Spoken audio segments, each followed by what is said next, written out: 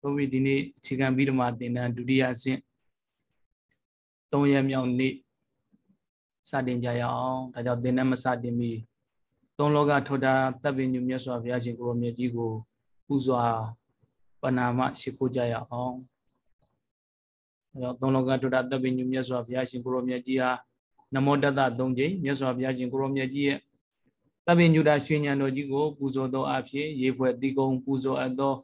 ဆောင်ဖို့လင်္ကာများကိုရွတ်ဆိုဘုရားကြောကစတင်ကြရအောင်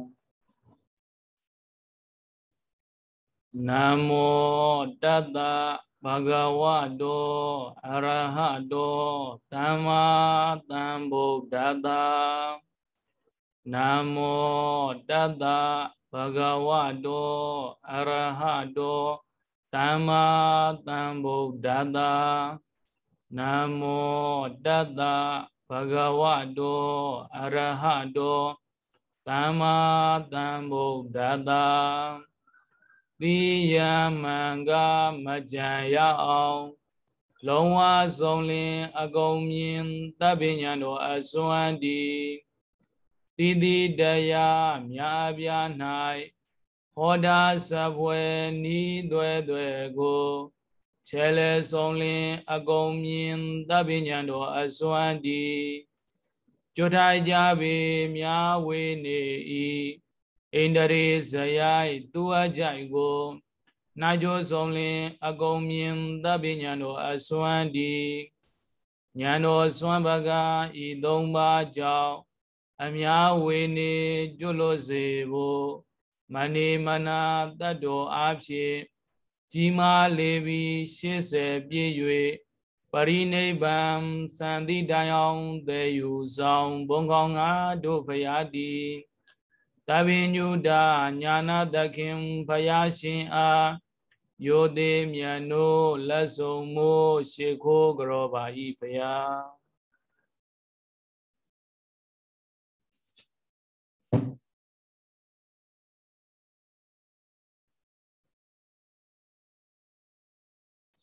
ဟုတ်ပြီစတင်ကြရအောင်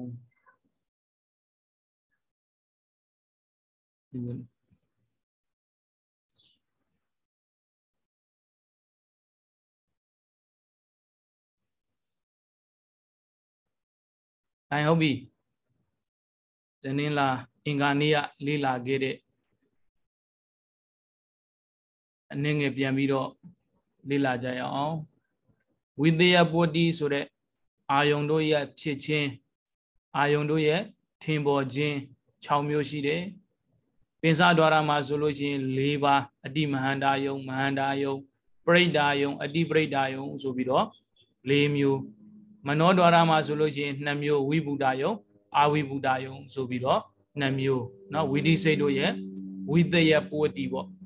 ခေါင်းစဉ်ကတော့ဝိသယပုတ္တိ6ပါးလို့တာမန်ပဲတက်ထားတယ်ဒါပေမဲ့ အောက်ကဝီထီမုတ်စိတ်တို့ရဲ့ဝိတယပုတ္တိလို့သုံးထားတဲ့အတွက်ကြောင့်အပေါ်က6ပါးသည်ဝီထီစိတ်တို့ဤဝိတယပုတ္တိ6ပါးနော်ဝီထီမုတ်စိတ်တို့ဤဝီထီမုတ်စိတ်တွေရဲ့ဝိတယပုတ္တိကကြတော့3ပါးပဲရှိတယ်တဲ့ဦးဇင်းတို့အရင်ဆုံးသိထားရမှာကဝီထီမုတ်စိတ်ဆိုတာဘာတွေလဲဆိုတာသိထားရမယ်နော်ဝီထီမုတ်စိတ်ဆိုတာကဟောပကိန်းပိုင်းမှာတော့ကတွေ့ခဲ့တဲ့ဒွါရသင်္ကဟမှာတွေ့ခဲ့တဲ့ဒွါရဝိမုတ်စိတ် 30နဲ့ဘယ်နှပါရှိရတော့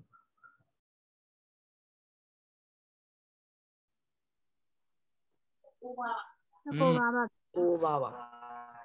နော်ဒွါရဝိမုတ်စိတ်30နဲ့9ပါအဲ့ဒီဒွါရဝိမုတ်စိတ်30 19အာဒွါရဝိမုတ်စိတ်30နဲ့9ပါကဒီဝီထိပိုင်းမှာရောက်တဲ့အခါမှာကြတော့သူတို့ကိုနာမည်တစ်ခုသုံးထားတယ်ဝီထိ မုတ်စိတ်ဆိုပြီးတော့နော်ဝီထီမုတ်စိတ်ဆိုပြီးတော့နာမည်လေးသုံးတယ်။အိုးဒွါရသင်္ကားမှာပဲနောက်ထပ်တစ်မျိုးအဲဒွါရသင်္ကားမှာပဲဝီထီမုတ်စိတ်ဒွါရဝိမုတ်စိတ်16ပါးကိုအရာကောက်တဲ့ဟာလေးရှိပါသေးတယ်။မမိကြလားမသိဘူး။မနောဒွါရအရာကောက်တော့ဘာအရာကောက်ခဲ့ရလဲ။ဟမ်မ နောတော်ဤကစိတ်69ပါပါဗျာဘဝင်စိတ်69ပါပါဗျာမနောဒွါရအရာကောက်တော့ဘဝင်စိတ်19ပါ9ပါနော်မနောဒွါရအရာကောက်တာဘဝင်စိတ်တစ်စင်းနဲ့ကိုးပါးကိုအရာကောက်တယ်ဒါကြောင့်ဘဝင်အဲမနောဒွါမနောဒွါရ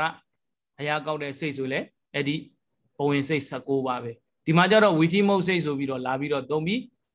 ပဋိသန္ဓေဘဝသုတိကိစ္စတက်တဲ့အဲ့ဒီဝီထိမုတ်စိတ်တွေရဲ့အာယုံဆိုတဲ့ဝိသေယပုတိကတော့၃မျိုးပဲရှိတယ်တဲ့ကံရဲ့ကမ္မနမိတ်ရဲ့ဂတိနမိတ်ရဲ့ဆိုပြီးတော့၃မျိုးပဲရှိတယ်နော်အဘောကဝီထိစိတ်တို့ရဲ့ဝိသေယပုတိကကြတော့6ပါးပေါ့အတိမန္တာယုံမန္တာယုံပရိဒါယုံအတိပရိဒါယုံဝိဘူဒာယုံအဝိဘူဒာယုံဆိုပြီးတော့6ပါးဟုတ်ပြီဒါကဝိသေယပုတိကိုသွားခဲ့ပြီ စိတ်တို့ရဲ့အတ္တတန်ဦးဇင်းတို့ဒီဝီဒီပိုင်းကိုသင်ပြီးဆိုလို့ရှိရင်စိတ်တွေရဲ့အတ္တတန်ကိုလည်းပဲသိထားရတယ်ဒါကြောင့်စိတ်ရဲ့အတ္တတန်ဆိုပြီးတော့စိတ်ရဲ့အတ္တတန်ကစိတ်တခုဖြစ်လာပြီဆိုလို့ရှိရင်အဲ့ဒီဖြစ်လိုက်တဲ့စိတ်ကလေးကဘလောက်ထိတောင်အတ္တတန်ရှည်သလဲဆိုလို့ရှိရင်ခဏနော်တူတောင်းလှစွာသောအချိန်ကာလခဏလေးမှာပဲသူတို့ကအတ္တတန်ရှိတယ်ဘလို့အချိန်ကာလလဲဆိုရင်ဒီမှာ ဒါတော့နားရည်တောင်ဝါနေလောက်ပါပြီเนาะပထမစင်းတုန်းကလည်းခဏခဏပြောခဲ့တယ်ဆိုတော့လက်ဖြောက်တစ်ချက်ပြီးမှဂရေတသိမ့်မကတော့စိတ်တွေအကျိန်ပေါင်းဂရေတသိမ့်မကဖြစ်နိုင်တယ်ဆိုတော့အဲ့ဒီဂရေတသိမ့်တွေကတခဏလေးပေါ့အဲ့ဒီတခဏလေးတွင်းရတခဏလေးကစိတ်တိုင်းစိတ်တိုင်းရဲ့အသက်ပဲเนาะဒီမှာစိတ်တို့ဤအသက်တန်းလို့ပြောထားတော့လည်းပဲစိတ်တစ်မျိုးတည်းလားဆိုတော့မဟုတ်ဘူးเนาะဘဒူပါပါတယ်လဲဆိုရင်စေတသိက်ပါပါတယ်ဝိဇ္ဇင်တို့စေတသိက်ပိုင်း ပထမဦးဆုံးလက္ခဏာအင်္ဂါ၄ပါးရှိတယ်။ဗါတဲ့တော့အင်္ဂါ၄ပါးကဧကုပ္ပါဒဧကနိရောဓဧကလပနဧကဝတ္ထုကဒါဧကုပ္ပါဒစေတသိက်ဆိုတာဘာဖြစ်တာတော့ဧကုပ္ပါဒစိတ်နဲ့အတူတကွာဖြစ်ရမယ်။နော်စိတ်နဲ့အတူတကွာဖြစ်တယ်။ဧကနိရောဓတဲ့။ဘာပြောတာတော့ဧကနိရောဓစိတ်နဲ့တူတူ ပါဗျာချုပ်အဲစိတ်နဲ့အတူတကွာချုပ်တယ်တဲ့နော်ဒါကြောင့်စိတ်နဲ့စေတသိက်ကစေတသိက်နဲ့စိတ်ကအတူတကွာဖြစ်တယ်အတူတကွာချုပ်ရတယ်နော်အတူတကွာဖြစ်တယ်အတူတကွာချုပ်ရတယ်စိတ်နဲ့စေတသိက်ကဒါကြောင့်ဒီမှာလည်းပဲဦးဇင်းတို့တွေ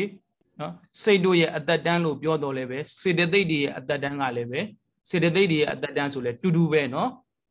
အဲ့ဒီဂရေတသိမ့်မကတော့ တစ်စက္ကန့်မှာဂရေတသိန်းလောက်ထဲကတပုံစားလောက်လေးပဲသူတို့တွေကအသက်တန်းရှင်ကြတယ်အသက်တန်းရှည်ကြတယ်ဒါပေမဲ့အသက်တန်းရှည်တဲ့ခါကျတော့နော်သူတို့ကအသက်တန်းရှည်တယ်ဆိုတော့အဲ့ဒီအခိုက်တန့်လေးဆိုတော့အင်မတန်မှတူတောင်းတဲ့အခိုက်တန့်လေးနော်အသက်ရှည်တယ်ဆိုတော့အင်္ဂါ၃ချက်နဲ့ပြည့်စုံရတယ်နော်အဲ့တကူဖြစ်လာပြီဆိုရင်ပထမဦးဆုံးဖြစ်တဲ့အခိုက်တန့်လေးကိုဥပက္ခဏလို့ခေါ်တယ်ဖြစ်ပေါ်လာတဲ့ခဏလေးနော် ဖြစ်တယ်ဖြစ်ပြီးလို့ရှိရင်ဦးဇင်းတို့ထီးဆိုတဲ့အဲ့ဒီစိတ်ကလေးဖြစ်ပြီးတဲ့နောက်မှာတည်တန့်နေတဲ့ခဏလေး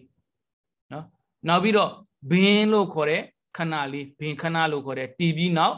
ပျက်စီးချုပ်ကွယ်နေတဲ့အခိုက်အတန့်လေးပေါ့နော်ခဏဆိုတာကဒီနေရာမှာဦးဇင်းတို့ခဏဆိုတဲ့စကားကလည်းအမျိုးမျိုးသုံးတာရှိတယ်လीဟုတ်တယ်မလားခဏဆောက်ခဏဆောက်ပါအောင်ဆို10မိနစ်လဲကြာရင်ကြာမယ်2မိနစ်လဲကြာရင်ကြာမယ်ဒီနေရာမှာသုံးတဲ့ခဏကတော့အလွန်တိုတောင်းတဲ့ ခဏလေးအလွန်တိုးတောင်းတယ်ဘလောက်တောင်တိုးတောင်းလဲဆိုရင်အဲဒီလောက်ပဲနော်ဒီလောက်ထိတောင်တိုးတောင်းတဲ့ခဏလေးအဲ့ဒီဥပတ်ထီပင်ဆိုတဲ့၃ပါးနဲ့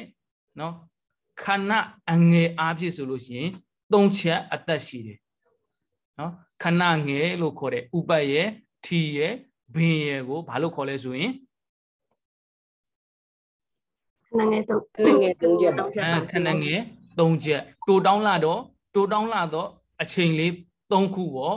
နော်ခဏငယ်၃ချက်အသက်ရှိတဲ့ဥပတ်ရဲ့ထီရဲ့ဘင်းရဲ့အဲ့ဒီဥပတ်ထီဘင်းလို့ဆိုတဲ့ခဏငယ်၃ခုအပေါင်းကိုကြတော့ခဏကြီးတဲ့မြန်မာလိုခေါ်လိုက်တာခဏကြီးနော်စာလိုခေါ်တော့စိတ်တက်ခဏနော်စိတ်တက်ခဏစိတ်ရဲ့အသက်ရှိရာအခါတဲ့စိတ်တက်ခဏခဏကြီးဆိုတာခဏကြီးစိတ်တက်ခဏဆိုတာဘာပြောတာလဲဆိုရင်စိတ်ရဲ့အသက်ရှိရာအခါပဲ နော်စိတ်ရဲ့အသက်ရှည်ရအခါခဏကြီးအားဖြင့်ဆိုလို့ရှိရင်တစ်ချက်ခဏငယ်အားဖြင့်ဆိုလို့ရှိရင်ဘယ်နှချက်ရှိတော့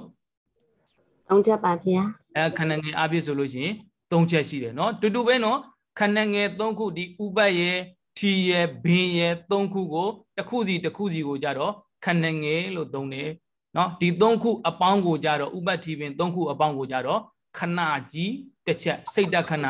တစ်ချက်ဒါဆိုလို့ချင်းစိတ်တခဏတစ်ချက်မှာခဏငယ်ပေါင်းဘယ်လောက်ပါဝင်သလဲဆိုရင်သုံးချက်ပါဗျာပါပါတယ်ဗျာအဲခဏငယ်ပေါင်း၃ချက်ပါဝင်တယ်ဒါသိထားရမယ်နော်ခဏငယ်၃ခုပေါင်းပြီဆိုလို့ရှိရင်ဘာလို့ခေါ်လဲဆိုရင်စိတ်တခဏတစ်ချက်ပါဗျာစိတ်တခဏတစ်ချက်စိတ်တို့ရဲ့အသက်ရှိရာအခိုက်တန်လီနော်ဦးဇင်းတို့အောက်ကဝီတီပိုင်းအဝီတီတွေကိုသိရစိတ်အစဉ်တွေကိုသိရပြီဆိုရင်အောက်မှာတွေ့အောင်မယ်နော်ဒါစိတ်တွေရဲ့အသက်တန်သိသွားပြီ စိတ်တွေရဲ့အသက်တန်တင်မကဘူးဘာဘာသိရမလဲဆိုရင်စေတသိက်ရဲ့အသက်တန်မှသိရမယ်နော်စိတ်ရဲ့စေတသိက်ရဲ့ကိုနံတရားတွေလို့ခေါ်တယ်နံရဲ့အသက်လို့မေးလာရင်လည်းပဲဒီတိုင်းပဲဥပတ်ထီပင်လို့ဆိုတဲ့ခဏငယ်အားဖြင့်၃ချက်ခဏစိတ်တခဏအားဖြင့်တစ်ချက်ခန့်အသက်တန်းရှိပါသည်ဒီလိုဖြေရမယ်နော်ဒါစိတ်ကိုစိတ်ကိုပဲမိမိစေတသိက်ကိုပဲမိမိစိတ်နဲ့စေတသိက်နှစ်ခုကိုပေါင်းပြီးတော့နံတရားလို့မေးလိုက်ရင်လည်းဟာငါတို့နံဆိုတာမကြဘူးပါဘူးလို့ထင်နေဦးမယ် နန်ဆိုတာစိတ်စေတသိက်ကိုနန်လို့ခေါ်တာပဲဟုတ်ပြီစိတ်ရဲ့အတ္တတန်းကိုတည်သွားပြီဆိုရင်ရုပ်ရဲ့အတ္တတန်းကိုဦးဇင်းတို့တွားကြည့်အောင်နော်ရုပ်ရုပ်28ပါးရှိတယ်ရုပ်28ပါးထဲမှာဦးဇင်းတို့ဝိညာဉ်တွေနဲ့လက္ခဏာရုပ်28ပါးထဲမှာဝိညာဉ်တွေဆိုတဲ့ရုပ်2ပါးရဲ့နော်ဝိညာဉ်တွေဆိုတော့တွေဆိုတော့2နော်သိပြီနော်ဝိညာဉ်တွေဆိုတော့2ပါးရဲ့လက္ခဏာရုပ်4ပါးရဲ့ 2ပါးရဲ့4ပါးရဲ့ပေါင်းတော့ဘယ်လောက်တော့6ပါးပါဗျာ6ပါး28ပါးရဲ့6ပါးနှုတ်တော့ဘယ်လောက်ကျန်မလို့22ပါးပါဗျာအဲ20နဲ့2ပါးအဲ့ဒီကျန်တဲ့ယုံ22ပါးကတော့တဲ့အသက်တန်းဘယ်လောက်ရှိသလဲဆိုရင်စိတ်တခဏ18ချက်အသက်ရှိတယ်စိတ်တခဏဘယ်လောက်သက်ရှိတော့ချက်ပါဗျာစိတ်တခဏ30နဲ့9ချက်အသက်တန်းရှိတယ်နော်ဒီ ရုပ်သက်တန်းဒါဒါပေမဲ့ရုပ်တိုင်းရုပ်တိုင်းလားဆိုတော့မဟုတ်ဘူးဝိညာဉ်တွေးတို့နော်လက္ခဏာယုတ်၄ပါးတို့မပါဘူးတဲ့ဝိညာဉ်တွေးလက္ခဏာယုတ်၄ပါးဆိုတော့အောက်ရရင်တွေ့ရမယ်နော်ကြံတဲ့ယုတ်အာရူပါယုံဆိုတဲ့ယုတ်တရားတွေတတ္တာယုံဆိုတဲ့ယုတ်တရားတွေခန္ဓာယုံရတ္တယုံဖုဒ္ဓဘာယုံယုတ်တရားတွေဦးဇင်းတို့ပကိမ့်ပိုင်းမှာတွေ့ခဲ့တယ်နော်ရူပါယုံဆိုတဲ့ယုတ်တရားတတ္တာယုံဆိုတဲ့ယုတ်တရားခန္ဓာယုံရတ္တယုံဖုဒ္ဓဘာယုံဆိုတဲ့ယုတ်တရားတွေနောက်ပြီးတော့စက္ခုပတာဒဆိုတဲ့ယုတ်တရားတွေမတွေ့ခဲ့ဘူးလား ဟင်ခဲ့ပါတယ်ဗျာအဲသကုပတာရတို့သောတာပတာခဲ့ပါတယ်ဗျာဒါနပတာရတို့ဇေမပတာရတို့ကာယပတာရလို့ခေါ်တဲ့အဲ့ဒီရုပ်တရားတွေနော်သူတို့ရဲ့အသက်တန်းတွေကဘယ်လောက်ထိအသက်တန်းရှိကြသလဲဆိုရင်အဲအသက်တန်းစိတ်တခဏအာပြည့်ဆိုလို့ရှိရင်30နဲ့9ချက်အသက်ရှိကြတယ်နော်စိတ်တခဏ19ချက်အသက်ရှိကြတယ်စိတ်တခဏတစ်ချက်တစ်ချက်မှာခဏငယ်ဘယ်နှခုပါတော့ ဟုတ်ကူပါဗျာอืมအပေါ်မှာတွေ့ခဲ့ပြီเนาะစိတ်တခဏတစ်ခုတစ်ခုမှာခဏငယ်အပြည့်ဆိုရင်ဘယ်လောက်ပါတယ်လဲဆိုရင်3ချက်3ချက်ပါတယ်3ခုပါတယ်ဒါကြောင့်ဒီ18ချက်ရှိတဲ့တဲမှာခဏငယ်အားဖြည့်ဆိုလို့ရှိရင်18 3လီဘယ်လောက်တဲ့50ပါဗျာ50နဲ့တစ်ချက်เนาะရုပ်ရဲ့အသက်တန်းကိုခဏငယ်ခဏငယ်အားဖြည့်ရည်တွက်လိုက်တဲ့ခါကျတော့ခဏငယ်အားဖြည့်50နဲ့တစ်ချက်ရှိတယ်เนาะ ခဏကြီးအားဖြည့်ဆိုလို့ရှိရင်တော့30နဲ့9ချက်ရှိတယ်ခဏကြီးဆိုတာစိတ်တခဏကိုပြောတာเนาะခဏကြီးစိတ်တခဏအားဖြည့်ဆိုလို့ရှိရင်ရုပ်ရဲ့အတ္တတန်က30နဲ့9ချက်ရှိတယ်ခဏငယ်အားဖြည့်ဆိုရင်တော့50နဲ့တစ်ချက်ရှိတယ်ဟုတ်ပြီအဲ့ဒီရုပ်20နဲ့နှစ်ပါးကိုဦးဇင်းတို့တွေအောက်ကိုကြည့်ကြည့်အောင်ဘာရုပ်တွေလဲဆိုတာဒီမှာဒါကဝီဒီပိုင်းပဲရှိသေးတော့ဦးဇင်းတို့တွေမသိရသေးဘူးเนาะရုပ်ပိုင်းကြောင်းမှာ22ပါးသောရုပ်တွေကဘာတွေလဲဆိုတာကိုသိရမယ် အောက်ကဟာလေးကိုပြေးပြီးတော့ကြည့်ကြည့်အောင်စိတ်အသက်နဲ့ရုပ်အသက်ဆိုပြီးတော့ဒါစာအုပ်ထဲမှာမပါသေးဘူးနော်စိတ်ရဲ့အသက်နဲ့ရုပ်သက်ဦးဇင်းတို့ဖြစ်ပေါ်လာတဲ့စိတ်တွေဒီစိတ်စင်တွေကအောက်ရောက်မှတွေ့ရမှာပေါ့နော်ဖြစ်ပေါ်လာတဲ့စိတ်တွေစိတ်တိုင်းစိတ်တိုင်းမှာနော်ဥပတ်ဆိုတဲ့အခိုက်တန်လေးရှိတယ်ထီဆိုတဲ့အခိုက်တန်လေးရှိတယ်ဘင်းဆိုတဲ့အခိုက်တန်လေးရှိတယ်ဥပတ်ရဲ့ထီရဲ့ဘင်းရဲ့နော်စိတ်တိုင်းစိတ်တိုင်းမှာ ဒီအတ္တဘဝင်ဆိုတဲ့စိတ်ကလေးကအသက်တန်းဘလောက်ရှိသလဲဆိုရင်ဒီသုံးချက်ပဲအသက်ရှိတယ်ဥပတ်ရဲ့ထီရဲ့ဘင်းရဲ့ဆိုတဲ့အခိုက်တန်လေးသုံးချက်ပဲအသက်ရှင်တယ်ဒါကခဏအငယ်ဥပတ်ထီပင်သုံးပါးကိုခဏငယ်လို့ပြောပြောထားတယ်နော်အဲ့ဒီဥပတ်ထီပင်သုံးပါးအပေါင်းကိုကြတော့ဘာလို့ခေါ်လဲစိတ်တခဏတစ်ချက်ပဲအဲစိတ်တခဏတစ်ချက်စိတ်ရဲ့အသက်ရှိရာတစ်ချက်ပဲနော်စိတ်ကအဲ့ဒီတိုးပြီးတော့ဥပတ်ထီဘင်းဆိုတဲ့ သုံးပါးပဲသုံးပါးမဟုတ်ပဲနဲ့နှစ်ပါးတည်းပဲအသက်ရှိတဲ့စိတ်ရှိသလားဆိုရင်မရှိဘူးနော်ဥပတ်ထီဘင်းဆိုတဲ့သုံးချက်ထက်တက်တန်းပိုရှည်တဲ့စိတ်ဆိုတာရှိသလားဆိုရင်မရှိဘူး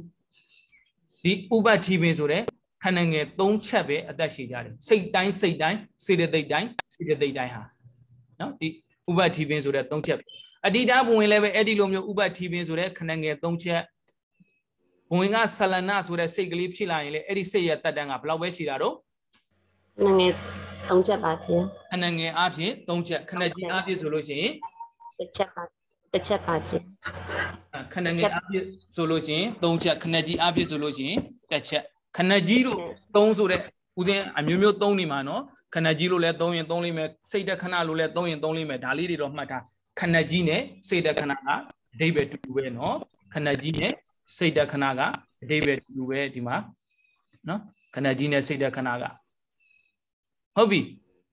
ဦးဇင်းတို့မြင်သိစိတ်ပြင်စားတော်ရာဝဆန်းဖြစ်တယ်မြင်သိစိတ်ဆိုတဲ့စက္ခုဝိညာဉ်စိတ်ဖြစ်တယ်မြင်သိစိတ်ဆိုတဲ့စက္ခုဝိညာဉ်မြင်တဲ့စိတ်ကလေးက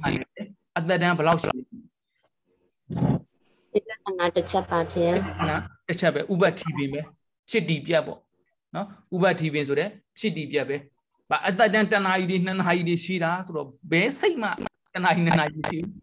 နော်ဒါဆိုလို့ရှိရင် နောက်ဆက်သွားလေးပါအောင်မယ်တံပရိဆိုင်ဆိုတဲ့စိတ်ကလေးတွေတန်တိရဏဆိုတဲ့စိတ်ကလေးတွေလည်းဥပတ်ရဲ့တီရဲ့ဘင်ရဲ့ဆိုတဲ့ခဏနေအဖြစ်၃ချက်ပဲနော်ဟုတ်ဘောဇောတို့ဇောစိတ်တွေဇောစိတ်55ပါးတောင်ရှိတယ်နော်ဇောစိတ်55ပါးထဲမှာဒီထဲမှာဆိုင်တဲ့ဇောကတော့ကာမဇောတွေပဲဆိုင်တယ်ဒီဒီဒီဒီအတန်းထဲမှာပါတဲ့ဇောကကာမဇောဆိုတော့ဦးဇင်းတို့လောဘဇောတွေရှိတယ်နော်ဒေါသဇောတွေရှိတယ်အဲ့ဒီလောဘဒေါသဇောတွေ နော်လောဘစိတ်ဒေါသစိတ်တွေဖြစ်လာရင်သူကခုနှစ်ကြိမ်ဖြစ်ရတယ်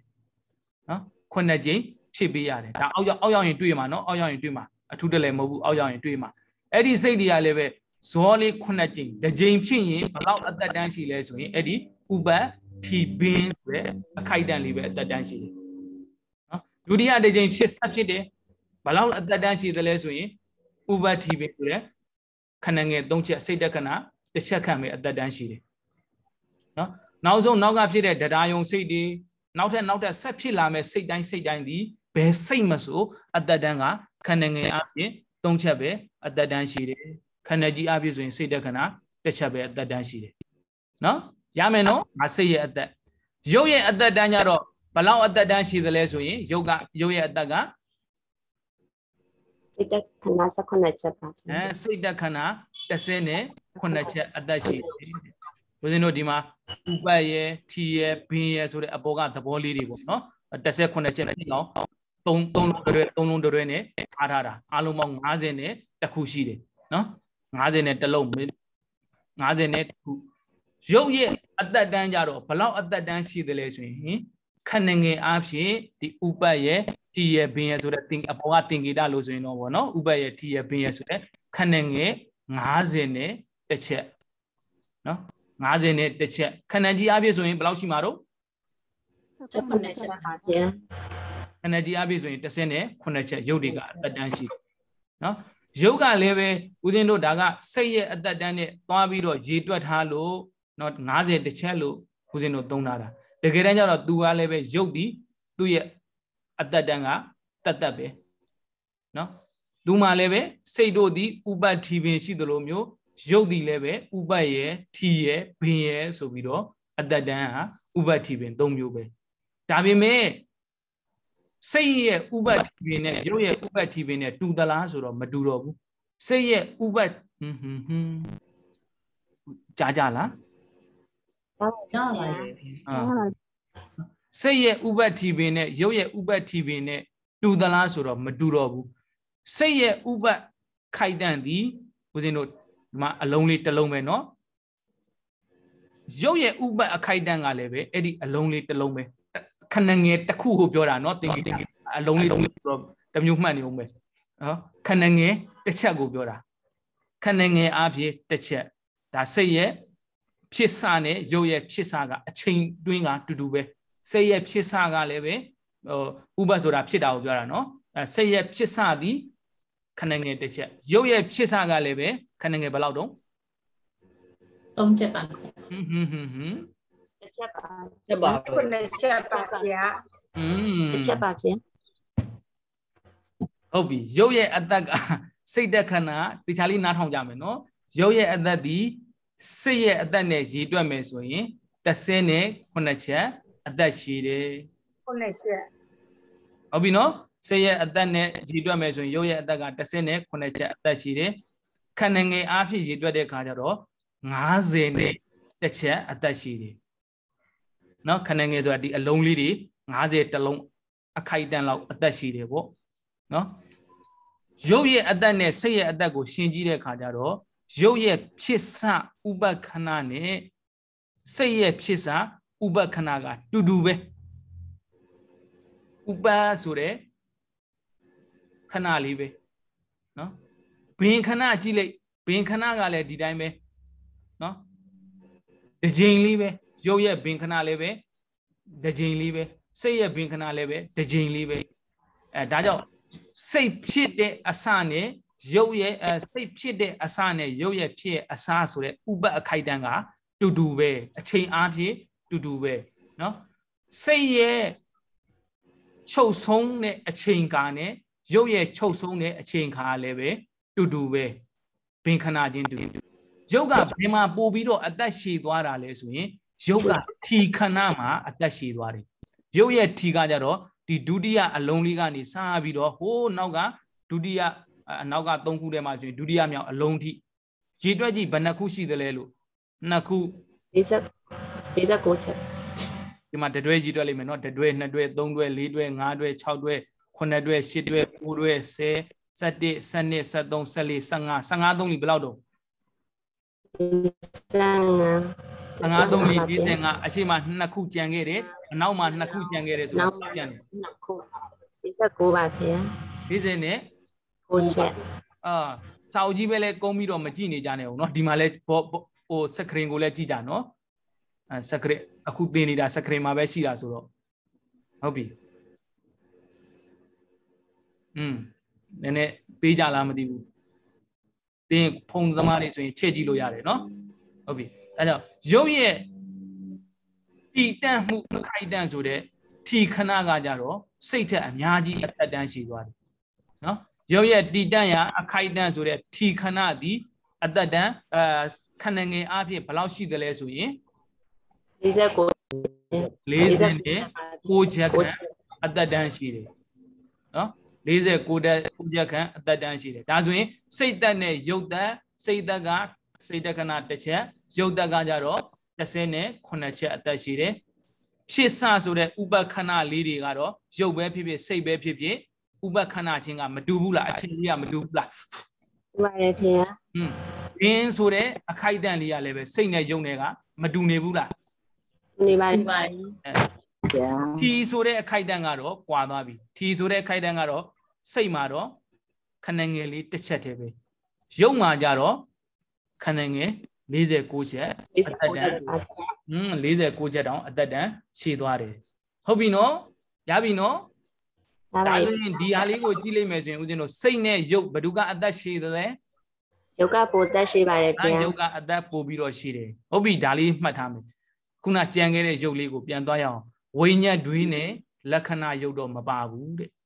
နော် ဝိညာဉ်တွေးနဲ့လက္ခဏာရုပ်ကတော့ဘလောက်အသက်တန်းရှည်ကြတယ်လဲဆိုလို့ရှိရင်ဝိညာဉ်တွေးဆိုတဲ့ကာယဝိညာဉ်ဝစီဝိညာဉ်မသိ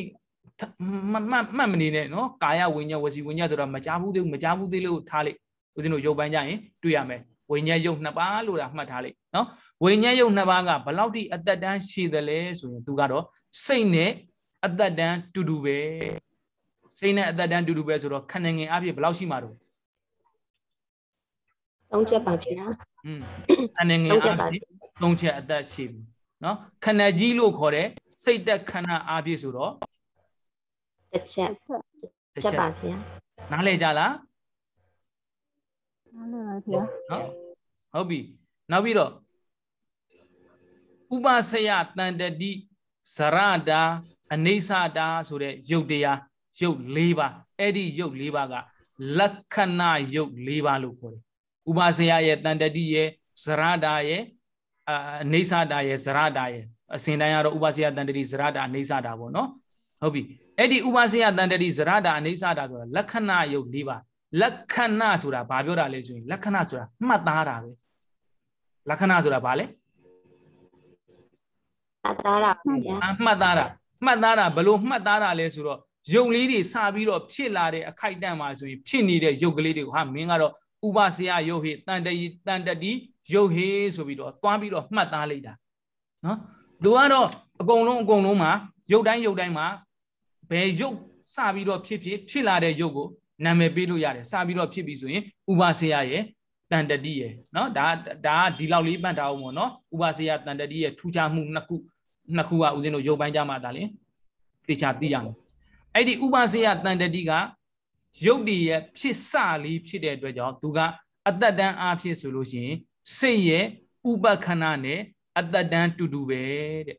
စိတ်ရဲ့ဥပခဏနဲ့အတ္တတန်တူတူပဲတဲ့ခဏငယ်အားဖြင့်တစ်ချက်ပဲရှိတယ်ခဏကြီးအားဖြင့်ရေတွက်လို့ရပါမလားရပါဘူးခင်ဗျာမရဘူးခဏကြီးအားဖြင့်ရေတွက်လို့မရဘူးဒါဆိုရင်ဒီဥပစေယတန်တတိရုပ်နှစ်ပါးသည်နော်စိတ်နဲ့ရှင်ရင် ဒီရုပ်နှစ်ပါးကအသက်ပိုရှည်တာလားစိတ်ကအသက်ပိုရှည်တာလားစိတ်ကအသက်ပိုရှိတာပါဗျာဟာစိတ်ကအသက်ပိုရှည်တယ်စိတ်ကဥပထီပင်ဆိုတဲ့ခဏငယ်၃ချက်အသက်ရှိတယ်ဒီဥပစေယတန်တတိကတော့စိတ်ရဲ့ဥပခဏလေးမျှတာအသက်ရှိတယ်ဆိုတော့ဒီဥပစေယတန်တတိရုပ်နှစ်ပါးဒီစိတ်ထက်စိတ်အောင်အသက်တူတဲ့ရုပ်ကလေးနော်စိတ်ထက်အသက်တူတဲ့ရုပ်ကလေးနှစ်ပါးနောက်ပြီးတော့အနိစ္စတာ အနိစ္စတာဆိုတာမမြဲတဲ့ရုပ်ပေါ့မမြဲတဲ့ဆိုတာပြက်နေတဲ့ပေါ့နော်ဖြစ်ပေါ်လာတဲ့ရုပ်တရားတွေပျက်စီးသွားတဲ့ပျက်စီးနေတဲ့အခိုက်အတန့်ကိုအခိုက်အတန့်မှာရောက်နေတဲ့ရုပ်တွေကိုအာဒါကတော့အနိစ္စတာရုပ်ဟေပြက်နေတဲ့ရုပ်တွေပေါ့ပြက်နေတဲ့ရုပ်လို့နာမည်ပေးထားတာ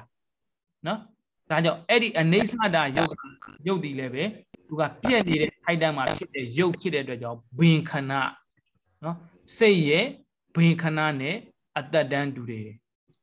နော်ဒီဘင်ခဏနဲ့အတ္တတန်းတူတယ်စိတ်ရဲ့ဘင်ခဏနဲ့အတ္တတန်းတူတယ်ခဏငယ်အားဖြင့်ဆိုလို့ရှိရင်တစ်ချက်ပဲရှိမယ်ခဏကြီးအားဖြင့်ရေတွက်လို့ရပါမလားရပါဘူးဗျာအဲခဏကြီးဆိုတာကဦးဇင်းတို့ဥပတ်ထီပင်ဆိုတဲ့သုံးပါးပြည့်စုံမှသာလင်ခဏကြီးလို့ခေါ်မှာနော်ဒါကြောင့်ဒီအနိစ္စတာယုတ်ကလေးကလည်းပဲစိတ်နဲ့စိတ်ထက်ဆိုင်အသက်ပို့ပြီးတော့မတူနေဘူးလားဝင်နေပါလေဗျာอืมစိတ်တက်ပို့ပြီးတော့အသက်တူနေတယ် ဇရတာဆိုတဲ့အိုမင်းရင့်ရော်ခြင်းတည်ခြင်းဆိုတဲ့ရုပ်တရားကတော့တဲ့ဘလောက်အသက်ရှည်လဲဆိုရင်เนาะရုပ်ဤထီခဏဦးဇင်းတို့ဒီမှာတတိထားနော်ဦးဇင်းတို့ဒီမှာတတိထားဆိုတာအပေါ်ကစိတ်ရဲ့ဥပခဏအာစိတ်ဤဘင်ခဏလို့သုံးပြီးတော့ဇရတာကြတော့ဘာရဲ့ထီခဏဖြစ်သွားတာတော့ ယောဂီတိကနာပါဗျာအဲယုတ်ဤထီခဏဖြစ်သွားတာနော်စိတ်ဤထီခဏမဟုတ်ဘူးနော်စိတ်ဤထီခဏဆိုရင်တော့ခဏငယ်တစ်ချက်ပဲယုတ်ဤထီခဏဆိုတော့ခဏငယ်ဘယ်နှချက်တုံး56ချက်ပါဗျာအာယုတ်ဤထီခဏနော်ဒီမှာဥပထီဘင်းဆိုတဲ့ယုတ်ရဲ့ထီခဏဖြစ်တဲ့ဖြစ်သွားပြီယုတ်ရဲ့ထီခဏခဏငယ်အားဖြင့်ရေတွက်တယ်ဆိုရင်40နဲ့6ချက်ခဏကြီးအားဖြင့်ဆိုရင်ဘယ်လောက်ရှိမှာတော့49ခဏကြီးအားဖြင့်ရေတွက်လိုက်တဲ့ခါကျတော့อืม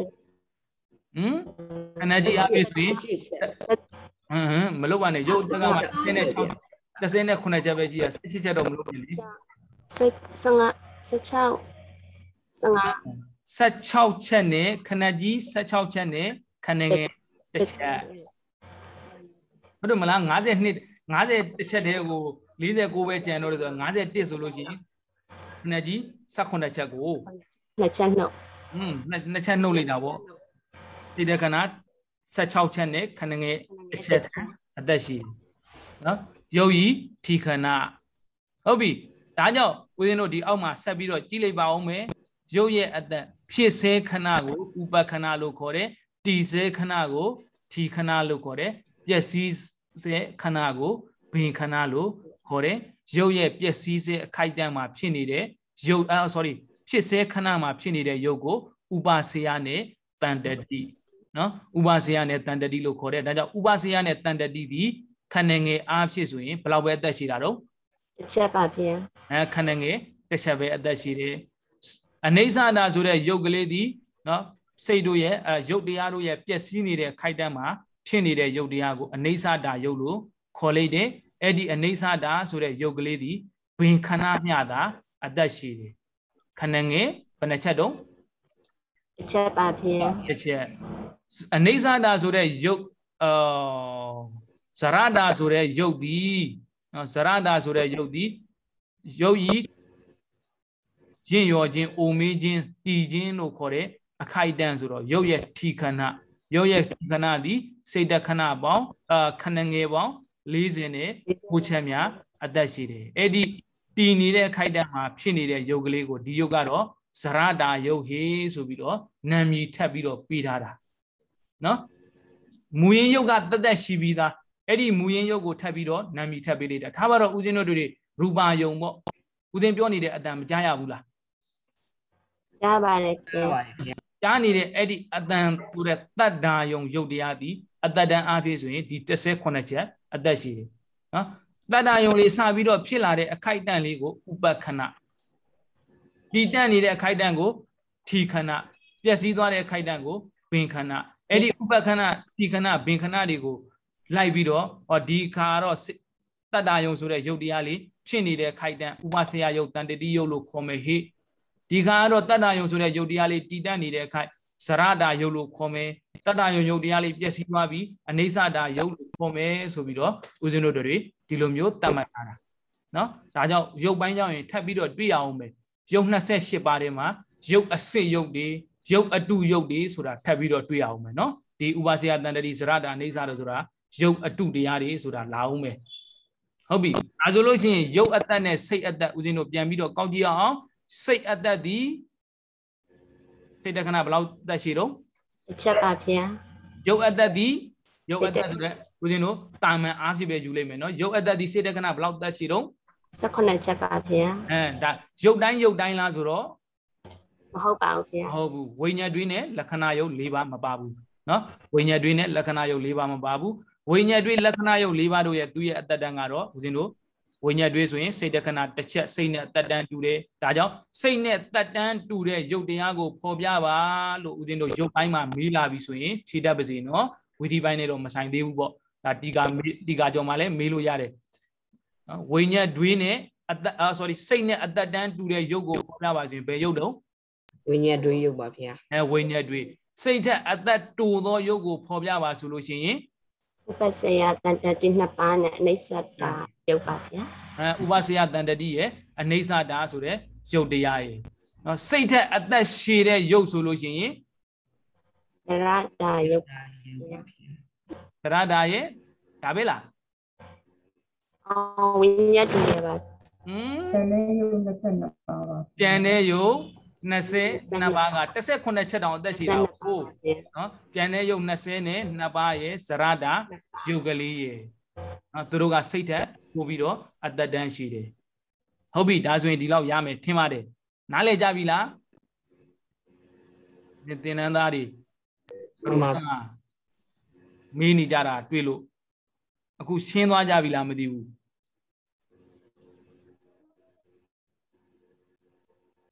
နားမလည်ရင်လက်ထောင်လိုက်နော်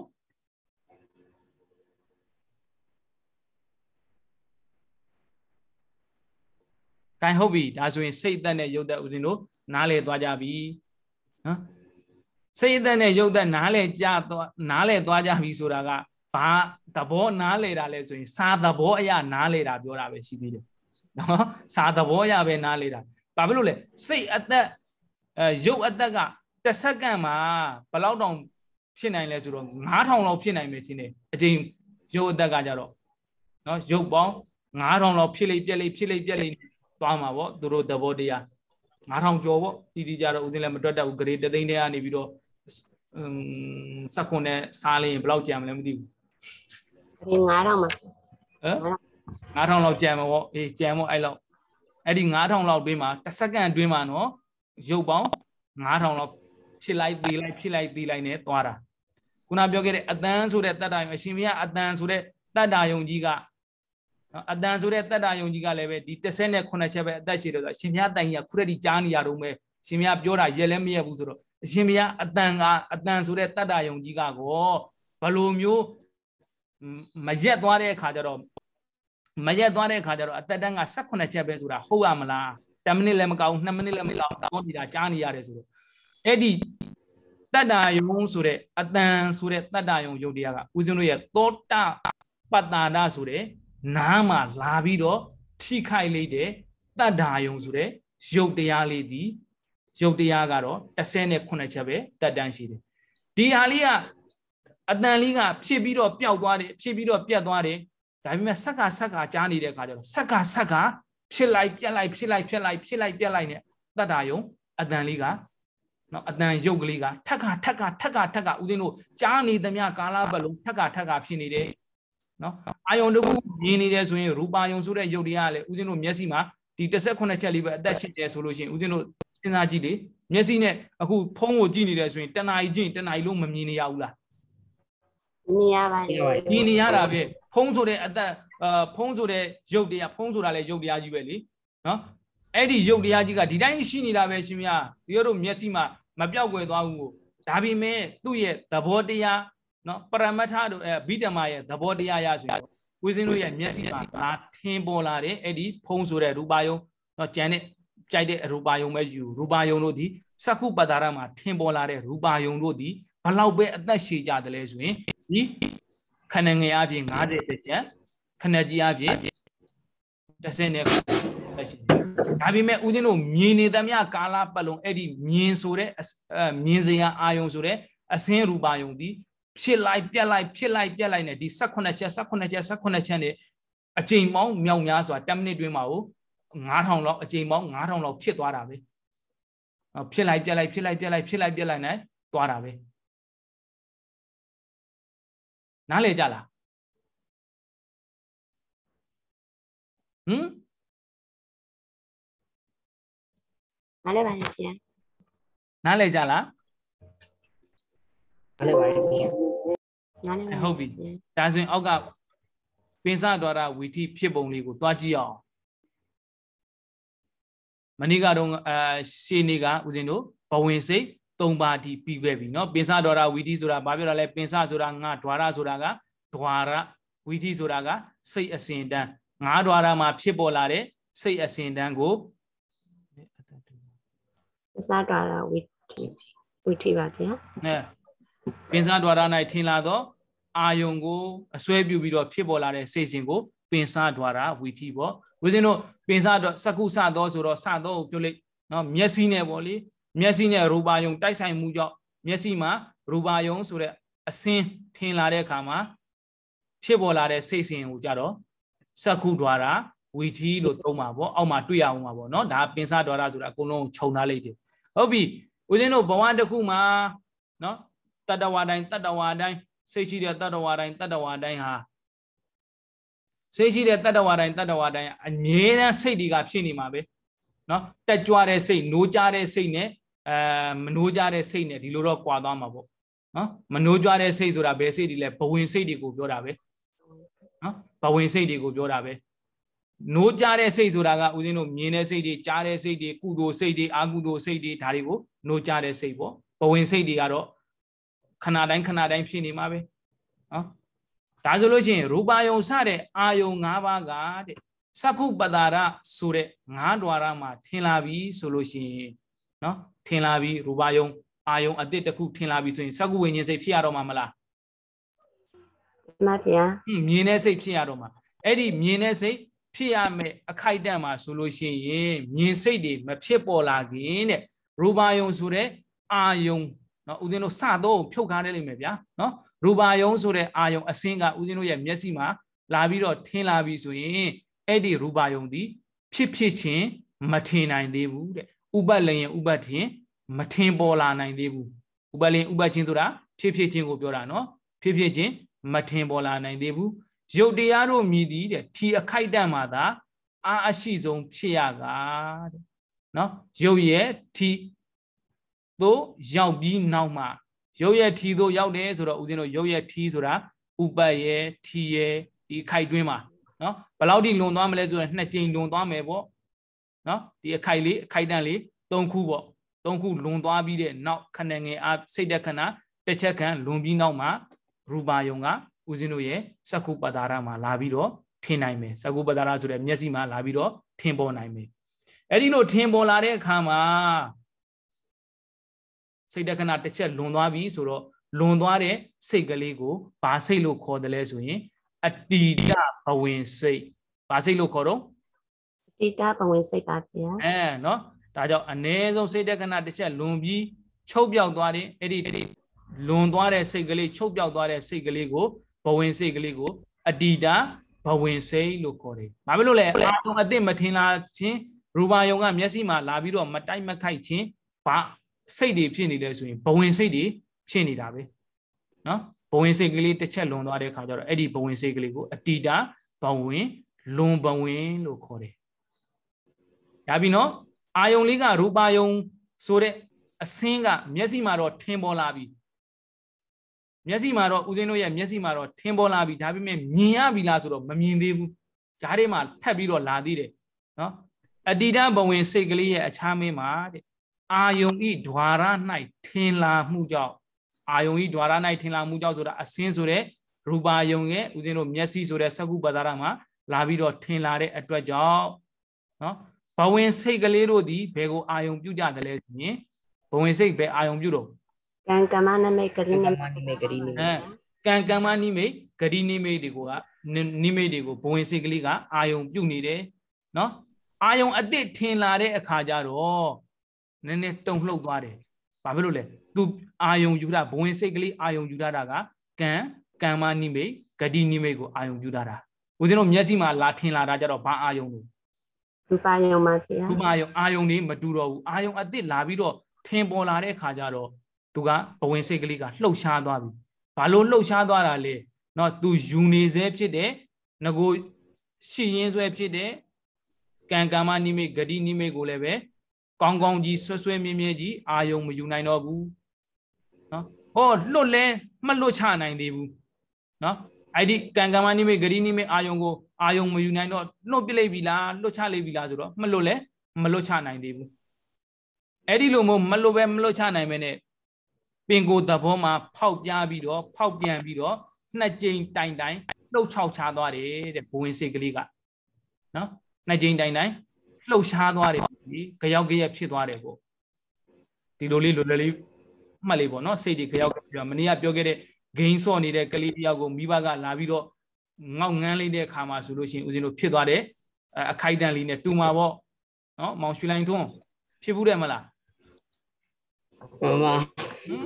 နေ့တိုင်းကိုဖြစ်နေတာထင်ပါတယ်နော်အမေခောက်ဒီတိုင်းတော့ကျူပါဦးဗျာမမဖြစ်ဘူးတော့သိတာပေါ့အမေခောက်ခောက်ကလွယ်ကူအောင်ဂရုံးတုံးထားလားလို့မဟုတ်ပါဘူးဗျာနော်အဲ့ဒီလိုမျိုးဂိမ်းစော့နေတဲ့ခိုက်တဲမှာလာပြီးတော့အော်လေးတဲ့ခါကျတော့ဂိမ်းအာယုံလည်းပြတ်သွားတယ်ဟိုအမေပြောတဲ့အာယုံလည်းကောင်းကောင်းကြားရင်မှကြားမယ်ပြန်ပြီးတော့စဉ်းစားတဲ့ခိုက်တဲမှာဒါလေးဦးဇင်းတို့အာယုံကကြားမှာပေါ့နော်အဲအဲ့ဒီလိုမျိုးတုံလှုပ်သွားတဲ့ခိုက်တန်လေးကိုဘဝင်လှုပ်တယ်လို့ခေါ်တာ နော်ဘဝင်ကဘယ်နှကြိမ်လှုပ်တယ်လဲဆိုရင်အချင်းတိုင်းတိုင်းပါဗျာအကြိမ်တိုင်တိုင်လှုပ်တယ်ဒါထူးခြားချက်လေးတွေကိုဦးဇင်းတို့စာအုပ်ထဲမှာတော့ဒီတိုင်းလေးပဲသွားမှာပေါ့နော်ကိုလက်ထဲမှာစာအုပ်ပရင်ထုတ်ထားတယ်ဆိုလို့ရှိရင်မီနီလေးနဲ့တားထားလေးပေါ့ဘဝင်လှုပ်သွားတယ်လှုပ်ချောက်သွားတယ်နှစ်ကြိမ်တောင်လှုပ်သွားတယ်ဆိုတာဒါ main ပေါ့လေသူ့မှာနော်အဲ့ဒီလှုပ်သွားတဲ့ဘဝင်လေးကိုပါဠိလိုခေါ်တော့ဘဝင်ကဆလနာနော်ဘဝင်ကဆိုတာဘဝင်ဆလနာဆိုတာလှုပ်တာ နော်လှုပ်ရှားတာလှုပ်ဘဝင်တဲ့နော်လှုပ်ဘဝင်လို့ခေါ်တယ်ဘဝင်ကနှစ်ကြိမ်လှုပ်သွားတာနော်နှစ်ကြိမ်လှုပ်သွားတဲ့ဘဝင်ကိုဘဝင်ကဆလနာဘဝင်ကဆလနာလို့နှစ်ခါခေါ်ရမှာဒါပေမဲ့ဒုတိယဘဝင်ကဆလနာလေးရကြတော့ဦးဇင်းတို့အာယုံကထင်လာပြီဆိုတော့အာယုံကထင်ရှားလာတဲ့အခါကျတော့ဒီဘဝင်စိတ်ကလေးကပြတ်သွားရတော့မှာနော်နှစ်ကြိမ်လှုပ်တဲ့ဒုတိယလှုပ်နေတဲ့ဒုတိယမြောက်ဘဝင်စိတ်ကလေးက ပြတ်သွားပြီဖြစ်လိုက်တဲ့အခါကျတော့ရူပါယုံကဦးဇင်းတို့မြင်တဲ့စိတ်တွေလာတော့မှာကိုမြင်တဲ့စိတ်တွေလာတော့မှာဆိုတော့ဒီဒီတာဘဝင်လေးကခြုံငိမ့်သွားပြီခြုံငိမ့်ပြီးတော့နောက်ထပ်ဝီထိစိတ်တွေလာတော့မှာနော်ဝီထိစိတ်တွေလာတော့ကမှဆို तू ကပြတ်သွားပြီပြတ်သွားတဲ့ခါကျတော့သူ့ကိုနာမည်လေးတီးတန့်ပေးလိုက်တယ်အပေါ်ကနာမည်လေးနဲ့မတူအောင်ဒုတိယဘဝင်ကဆလနာစိတ်ကိုဘဝင်ကုပိစေတာနော်ဘဝင်ကုပိစေတာဘဝင်ကဆိုတာကဘဝင် ဥပိစေတာဆိုတာက ပြက်တာရက်တာချုပ်သွားတာနော်ပြက်တာရက်တာချုပ်သွားတာဥပိစေတာဘဝင်ကုပိစေတာဒါကြောင့်ရက်ဘဝင်လို့ခေါ်တယ်ပြက်ဘဝင်လို့ခေါ်ရင်လည်းရတယ်နော်ချုပ်ဘဝင်လို့ခေါ်ရင်လည်းတူတူပဲနော်ရက်ဘဝင်ပြက်ဘဝင်ချုပ်ဘဝင်တူတူပဲဒီနာမည်ကဘဝင်ကုပိစေတာဆိုတဲ့နာမည်ကိုမြန်မာလိုပြောခြင်းနော်အဲကြောင့်အဲဘဝင်ကဒုတိယဘဝင်ကဆလနာဆိုတဲ့စိတ်ကလေးဒီ သူယူနေတဲ့ယူနေကြဖြစ်သောကံကမ္မနိဂရိနိမိတ်ဆိုတဲ့အာယုံအဟောင်းကိုစုပြီးတော့အာယုံအသစ်ကိုယူဖို့ရန်ဘဝင်အစဉ်ပြတ်သွားပြီပြတ်သွားတဲ့အခါသူကိုဘဝင်ကုပစ္စေတာလို့ပြောလိုက်တယ်ဘဝင်ဘယ်နှကြိမ်ဖြစ်သွားပြီတော့သုံးချိန်ပါဗျာအတိတဘဝင်ကတစ်ကြိမ်နော်လှုပ်ဘဝင်ကနှစ်ကြိမ်နော်လှုပ်ဘဝင်ကနှစ်ကြိမ်ဒါပေမဲ့ဒုတိယလှုပ်ဘဝင်ကိုကြတော့ဦးဇင်းတို့နာမည်တီးတန့်ပေးလိုက်တယ် ဘဝင်ကုပစ္စေတာနော်ဒီမှာဘဝင်ကဆလနာကိုတစ်ခုပဲယူလိုက်တော့မယ်ဒါဆိုရင်ဘဝင်၃ကြိမ်ရှိသွားပြီအာယုံကမမြင်ရသေးဘူးနော်ရှင်းပြနေတာကြားတယ်ပြောနေတာကြားတယ်ဦးဇင်းတို့အဲတပည့်တော်တို့မျက်စိဖွင့်လိုက်တာနဲ့အာယုံကမျက်စိမှာလာပြီးတော့တန်းပြီးတော့ပေါ်တာပဲဗျာမြင်သိစိတ်တန်းပြီးတော့မဖြစ်ကြဘူးလားဖြစ်ပါတယ်ဗျာဖြစ်သွားတာဒါပေမဲ့စိတ်ရဲ့လှုပ်ဆောင်မှုကတော့အဲ့ဒီမျက်စိဖွင့်လိုက်တာနဲ့တပြိုင်နက်အတွင်းမှာမျက်စိဖွင့်တယ်ဆိုတော့ တစ်စက္ကန့်အောင်မရှိတဲ့ခိုက်တန်လေးမှာစိတ်ပေါင်းကဂဒေတသိမ့်မကဖြစ်ပုံကိုဦးဇင်းတို့အခုရှားနေတာနော်ဒီအတိတဘုံဝင်ဘုံကဆလနာဘုံကုပစ္စေတာဖြစ်သွားတာကအဲ့ဒီဘလောက်မှဘလောက်အတွင်းမှာဖြစ်သွားတာလဲဆိုလို့ရှိရင်ဂဒေတသိမ့်အဲဂဒေတစ်စက္ကန့်ရဲ့ဂဒေတသိမ့်ပုံတဘုံအတွင်းမှာပဲဖြစ်သွားကြတာနော်အဲတဘုံမဟုတ်ဘူးပေါ့အဲ့ခိုက်တန်လေးပါဥပတ္တိပင်ဆိုတဲ့အခိုက်တန်လေးမှာပဲဖြစ်သွားကြတာပေါ့နော်အဒီဒါဘဝင်တို့ဘဝင်ကဆလနာတို့ဘ ဝင်ကူပေးစေတာတို့ဒါမျက်စိကိုကမျက်စိဖွင့်လိုက်တာနဲ့တပြိုင်နက်အာယုံကိုမြင်ရတာတန်းပြီးတော့မြင်ရတာဦးဇင်းတို့ဒီစိတ်တွေဖြစ်တယ်ဆိုတာဖျားဟုတ်လို့တာသိတာလေဦးဇင်းတို့ဘယ်သိမှာတော့သိရလားမှန်ပါဗျာသိနိုင်ပါလားဘူးပါဗျာဘူးမသိဘူးလေနော်ဦးဇင်းပြောနေတဲ့အတန်ကိုကြားနေတဲ့အခါမှာလဲထို့တူပဲအာဒီစိတ်တွေကအော်တိုမက်တစ်သူ့ပိုင်သူအလုံးလုံးသွားတာဒါပေမဲ့ဦးဇင်းတို့အနေနဲ့သိတာကြတော့ဘာဘာသိတယ်ကြားစိတ်ဖြစ်လိုက်တာတော့သိလိုက်တယ်ဟုတ်တယ်မလား ကြားစိတ်ဖြစ်တာသိရင်သိမယ်နောက်ပြီးတော့ဘာစိတ်တွေဖြစ်မလဲအဲ့ဒီကြားတဲ့အတန်ကိုမူတည်ပြီးတော့ဟောလောဘစိတ်ဖြစ်ခြင်းလည်းဖြစ်မယ်ဒေါသစိတ်ဖြစ်ခြင်းလည်းဖြစ်မယ်ကုသိုလ်စိတ်ဖြစ်ခြင်းလည်းဖြစ်မယ်ဒီဟာတော့ဦးဇင်းတို့နားလည်မယ်သဘောပေါက်မယ်သိကြမယ်နော်ကျန်တဲ့ပင်သားတော်ရာဝဇန်တို့တံပလိဆိုင်တန်ဒီရဏတို့ဝုံခေါ်တို့ဖြစ်တာသိရင်ချင်းမှသိလိမ့်မယ်နော်အာယုံတစ်ခုကိုမြင်ရပြီဆိုရင်လို့ရှိရင်မြင်တဲ့စိတ်ဖြစ်တယ်ဟေးငါမြင်တဲ့စိတ်တွေဖြစ်နေတယ်ဒီတော့တော့သိတယ်နောက်ထပ်ဘာစိတ်တွေဖြစ်တာကိုသိနိုင်သေးလဲဆိုလို့ရှိရင်အော်မြင်တဲ့အာယုံကိုအကြောင်းပြုပြီးတော့ကုသိုလ်စိတ်တွေ အာကုသိုလ်စိတ်တွေဖြစ်တာကိုဦးဇင်းတို့တွေဒီလောက်ပဲသိနိုင်တယ်ဒီဒီတာဘုံဘုံကဆလနာဘုံကုပိစေတာဆိုတာဦးဇင်းတို့ဘလို့မှမသိနိုင်ဘူးပဲဒါပေမဲ့စိတ်ရဲ့သဘောတဘာဝကတော့သူအစင်စင်အစင်အစင်လှုပ်ဆောင်သွားတာသုံးချက်ရောက်သွားပြီနော်အာယုံတစ်ခုဦးဇင်းတို့ရဲ့မျက်စိမှာသုံးမုံနားမှာနှာခေါင်းမှာလာပြီးတော့စုံမိလိုက်တဲ့အခါမှာဆိုရင်စိတ်ပေါင်းသုံးချက်လွန်သွားပြီဒါဆိုရင်မြင်ရပြီလားကြားရပြီလားဆိုတော့မရသေးဘူးနော်အဲ့ဒီဘဝင်အစင်တွေပြတ်သွားတဲ့အခါမှာဝီထိစိတ်တွေလာပြီ နော်ဝီထိစိတ်တွေလာပြီဘဝင်စိတ်တွေကိုဝီထိမုတ်စိတ်တွေလို့ခေါ်တဲ့အောက်ကအခုလာမဲ့စိတ်တွေကဝီထိစိတ်တွေဘယ်စိတ်တွေလဲဘဝင်အစင်ပြတ်ပြီးတဲ့နောက်တနည်းအားဖြင့်ပြောမယ်ဆိုရင်ဘဝင်ကုပိစေတာစိတ်ကလေးဖြစ်ပြီးတဲ့နောက်မှာဆိုရင်တဲ့ပင်စဒွါရ၌ထင်လာသောအာယုံအတိတ်ကိုပင်စဒွါရဆိုတာဒီလောက်လေးပြောလိုက်တာ ਨੇ အားလုံးပြင်းမြင်နေကြမယ်နော်စကုဒွါရသောတာဒွါရဂါနာဒွါရဇင်ဝါဒွါရကာယဒွါရဆိုတာကိုတန်းပြီးတော့ပြင်းမြင်နော် ဟိုစာအုပ်ထဲကကိုပြင်းမမြင်ဘူးဆိုရင်တော့မှဦးဇင်းတို့ကိုယ့်ရဲ့ခန္ဓာကိုယ်ကိုမြင်လိုက်မျက်စိနားနှာလျာကိုဆိုတဲ့အင်္ဂါ၅ရက်ကိုတန်းပြီးတော့မြင်လိုက်တကား၅ပေါက်ပေါ့နော်အဲ့ဒီစကုမျက်စိနားနာလျာကိုဆိုတဲ့အာယုံတွေမှာထင်ပေါ်လာတဲ့အစင်းတို့အတန်းတို့အနံ့တို့အရသာတို့အတွေ့အထိဆိုတဲ့အာယုံအသစ်ကိုနံပါတ်၄အနေနဲ့စင်ကျင်သောစိတ်ကလေးဖြစ်တယ်။အစိတ်လေးဖြစ်တော့ စိတ်ကပစ္စာသွားတာအဲစင်ကျင်သောစိတ်ကလေးပင်စတွားတာ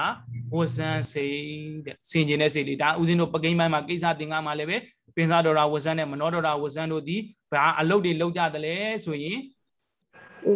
ဟမ်အာဝဇန်အလုတ်ကိုဝလုပ်ဇန်လောက်စင်ကျင်တဲ့အလုတ်ကိုလုပ်တယ်မနောတော်တာဝဇန်လေးကရောဘာအလုတ်တွေလောက်ကြတော့ဟေ့ဘုံထောပါဟောရင်အဝဇန်อืมငိုကြငိုကြငိုကြ ဟမ်အာဝဇန်တစ်မျိုးတည်းပြည်လာတဲ့ကိစ္စအဝဇန်နော်နံပါတ်နံပါတ်8မိကုန်းမလားနံပါတ်နော်အာယကရိယာစိတ်၃ပါးရဲ့အာယကရိယာစိတ်ကိုဆိုင်ရာအလုပ်တို့နဲ့တကွဖော်ပြပါဆိုတာအဲ့မှာမနောဒရာဝဇန်လေးကိုအာဝဇန်ကိစ္စဆိုပြီးတော့တစ်ချက်ပဲဖြေကြတာဟုတ်ပြီစင်ကျင်တက်တဲ့ပင်စတော်တာဝဇန်းစိတ်ကလေးလာပြီးတော့ဖြစ်ပေါ်လာတယ် နော်ဒါဆိုရင်သူ့မှာမြင်တဲ့စိတ်ကလေးမဖြစ်သေးဘူးအဲ့ဒီ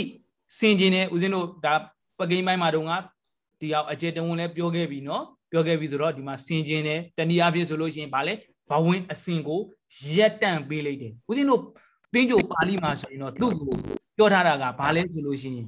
ဟွန်းဟွန်းကြားကြလားကြားပါတယ်ခင်ဗျာနော်သင်္ကြိုပါဠိမှာဆိုလို့ရှိရင်တော့သူက ဘဝင်ကြီးဒိဋ္ဌတ်တုံဘဝင်ကြီးဆလိတေဘဝင်ကသောတံဟုတ်စိန်ဒိဋ္ဌဝါနော်ဝင်ကသောတံဟုတ်စိန်ဒိဋ္ဌဝါတမီဝရူပါရမဏံအာဝဇန္တအာဝဇနစိတ်တံဆိုပြီးတော့သုံးထားတယ်နားမလဲပါဘူးနော်ဘာပြောတာလဲဆိုရင်ဘဝင်အစင်ကိုဖြတ်တက်ဖြတ်လိုက်တဲ့စိတ်ကလေးတဲ့ဒါပါဠိမှာဒါတိုက်သုံးထားတာနော်ဘဝင်အစင်ကိုဖြတ်လိုက်တဲ့စိတ်ကလေးဖြတ်တောက်ပေးလိုက်တဲ့စိတ်ကလေး အရှိမဘဝင်တွေဖြစ်လာခဲ့တယ်ပင်စားတော်တာဝဆန်းစိတ်ကလေးလည်းဖြစ်ကောဘဝင်တွေဖြစ်လို့ရသေးလားမရတော့ပါဘူးဗျာမရတော့ဘူးသူဝင်လာပြီမင်းတို့နေခဲ့တော့မင်းတို့သွားတော့ငါလာပြီဟေးဆိုပြီးတော့သူဝင်လာတဲ့ခါကျတော့ဘဝင်စိတ်တွေချုပ်သွားပြီနော်ဘဝင်စိတ်တွေငြိမ်းသွားပြီချုပ်သွားပြီ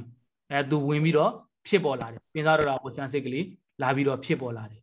နော်ဒီနေ့မှာခေါင်းရှုပ်သွားမှဆိုလို့မပြောတော့ပါဘူးခုနပြောမှုဟာလေးကဦးသိန်းအောက်ကို အဲပြောမှုဟာကဒီကာသမားတွေလည်းခေါင်းရှုပ်သွားစရာရှိမပြောတော့ဘူးအော်ထင်ပေါ်လာတဲ့အာယုံကလေးကိုဆင်ကျင်တတ်တဲ့ပင်စားတော်တာဝဆန်းစိတ်ကလေးဖြစ်တယ်ပြီးတဲ့နောက်နံပါတ်5အနေနဲ့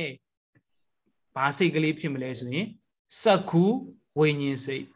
အာယုံတစ်ခုကိုမြင်စရာအာယုံကဦးဇင်းတို့ရဲ့စက္ခုပတာရမှာလာပြီးတော့မျက်စိမှာလာပြီးတော့ထင်လာပြီးဆိုရင်ဩမြင်တဲ့စိတ်ဖြစ်မှာပေါ့အတန်ကနားမှာလာပြီးတော့ထင်ပေါ်လာပြီဆိုရင် ဘာစိတ်ဖြစ်မှာတော့သောတာဝိညာဉ်စိတ်ပါဗျာအနန္နေနန်းရှုမိတယ်ဆိုရင်ဘာနာနောက်ဘာနာဝိအဲညာဉ်စိစိတ်တ်ဝပါဝိညာဉ်ကာယဝိညာဉ်အကုန်လုံးသိမယ်နော်ဒါကြောင့်ဩမြင်တာတဲ့မြင်သိစိတ်ကလေးဖြစ်လာပြီဒါကိုဘုသူဒ္ဓအနေနဲ့ဦးဇင်းတို့ပြောကြရအောင်ဦးဇင်းတို့သိထားတယ်လောကမှာသုံးနေတဲ့ငါမျက်စိနဲ့တိုက်ရိုက်မြင်ခဲ့တာပါငါမျက်စိနဲ့အပ်အပ်တက်ဆက်မြင်ခဲ့တာပါလို့သုံးတယ်အာယုံကိုမြင်တာကမျက်စိလားစိတ်လား ဟမ်မြင်နာစိတ်တရားစိတ်ပါအဲမြင်တာကမြင်သိသောစက္ခုဝိညာဉ်စိတ်ဆိုတော့မြင်တာဒီစက္ခုဝိညာဉ်စိတ်ကမြင်တာမျက်စိကဘာလောက်တာလဲဆိုတော့မျက်စိကအဲ့ဒီရူပါယုံဆိုတဲ့အစင်းကိုခံယူပြီးထားတာနော်ရူပါယုံရဲ့အစင်းအဲရူပါယုံဆိုတဲ့အစင်းရူပါယုံကိုခံယူပြီးထားတာနားဆိုတဲ့သောတာပတ္တာရကအတန်ဆိုတဲ့တတ္တာယုံကိုခံယူပြီးထားတာသူကကြားတာလည်းမဟုတ်ဘူး မြင်တာလည်းမဟုတ်ဘူးဘာလို့တာလဲအာယုံကိုလက်ခံပေးထားတာခံယူပေးထားတာနော်မြင်တဲ့စိတ်ကြားတဲ့စိတ်တွေကတော့မြင်တဲ့တရားကြားတဲ့တရားတွေကတော့ဦးဇင်းတို့စက္ခုဝိညာဉ်တို့သောတာဝိညာဉ်တို့ဂာနဝိညာဉ်တို့ဇင်ဝဝိညာဉ်တို့ကာယဝိညာဉ်တို့နော်ဒါပေမဲ့ဦးဇင်းတို့လောကမှာသုံးတဲ့ငါမျက်စိနဲ့တိုက်ရိုက်မြင်တာတိုက်ရိုက်မြင်တာလို့သုံးကြတယ်မျက်စိနဲ့မြင်တယ်လို့သုံးတော်လဲပဲ ဦးဇင်းတို့မျက်စိဆိုတဲ့စက္ခုပတ္တာရနဲ့စက္ခုပတ္တာရကမြင်တတ်တဲ့တရားမဟုတ်ဘူးနော်မြင်တတ်တဲ့တရားမဟုတ်ဘူးသူကအာယုံကိုမယူတတ်ဘူးတပ်ပင်စာပဏိဒံရူပံအဟေတုကံတပ်ပစ္စယံတာတဝံသင်္ခတံလောကိယံကာမဝဆရံအနာရမဏံဆိုပြီးတော့ဦးဇင်းတို့ရုပ်ပိုင်းသမားတွေသိပါတယ်နော်ဒုတိယစဉ်သင်ဘူးတဲ့ပုံကိုယ်တွေပါတယ်ဆိုရင်သိလိမ့်မယ်ရုပ်တရားတို့ဒီအာယုံကိုမယူတတ်ဘူးလွယ်လွယ်ပြောရင်မမြင်တတ်ဘူးမကြားတတ်ဘူးမနှမ်းရှုတတ်ဘူး ဟော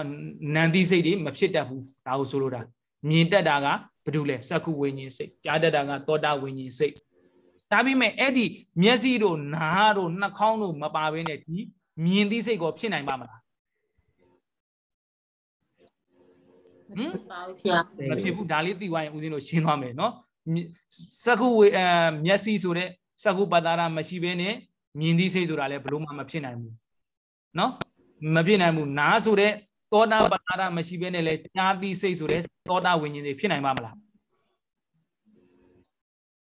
ဟမ်ဖြစ်နိုင်ပါဗျာဖြစ်နိုင်ဘူးလက်ခံပြီးတတ်တဲ့အာယုံကိုမြင်တတ်အဲကြားတတ်ကြားစေတတ်တဲ့ရုပ်တရားလေးတွေရှိနေဦးမှာပဲဟုတ်ပြီဒါကဘုဒ္ဓတာအနေနဲ့နော်ဦးဇင်းတို့ဘုန်းကြီးတွေဆိုရင်တော့မေးတတ်တယ်မြင်တာက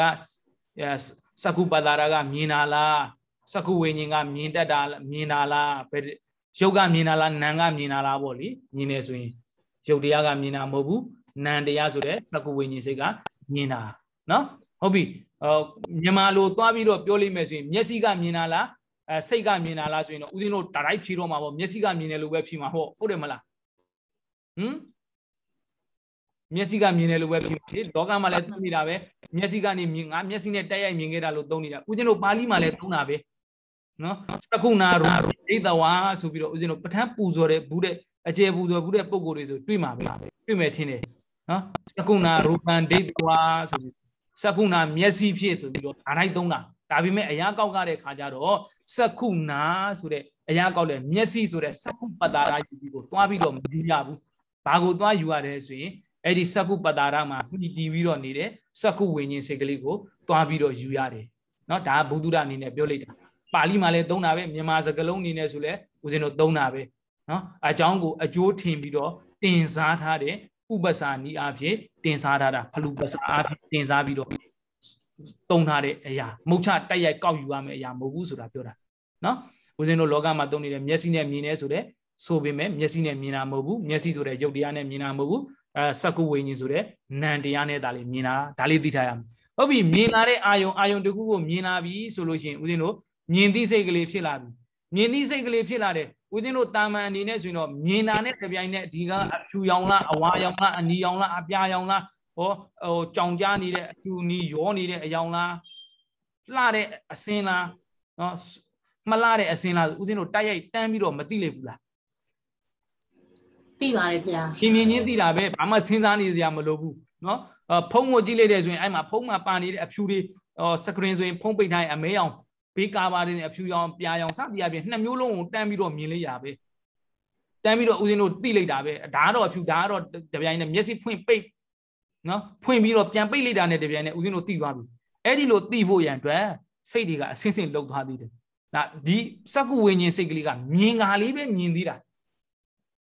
အဖြူအနီအပြအဝအကောင်အဆူအကြောင်းအကောင်အဆူစသည် तू ဘာမှမသိသေးဘူးမြင်ယုံတက်တက်လေးပဲရှိသေးတာဟုတ်ပြီနော် မြင်ယုံတက်တက်လေးပဲရှိသေးတာအဲ့ဒီမြင်လာတဲ့အဆင်းဆိုတဲ့ရူပါယုံကိုအောက်ကဆက်လက်ပြီးတော့ခံယူပြတတ်တဲ့တန်ပတိဆိုင်စိတ်အာယုံလေးမပြောက်ပြက်သွားအောင်လက်ခံပြီးထားတဲ့သဘောတရားပေါ့ခံယူတကယ်တော့ဖြစ်တော့တန်ပတိဆိုင်စိတ်ဦးဇင်းတို့ပကိန်းပိုင်းမှာလည်းပြန်ကြည့်ကြည့်နော်ဟိုးစိတ်ပိုင်းမှာလည်းပဲတံပတိဆိုင်ရဲ့အတိတ်ပဲမှာဦးဇင်းတို့ပြန်ကြည့်ကြည့်ခံအာယောခံယူတတ်သောစိတ်ဆိုတဲ့အတိတ်ပဲလေးတွေပါတယ်နော်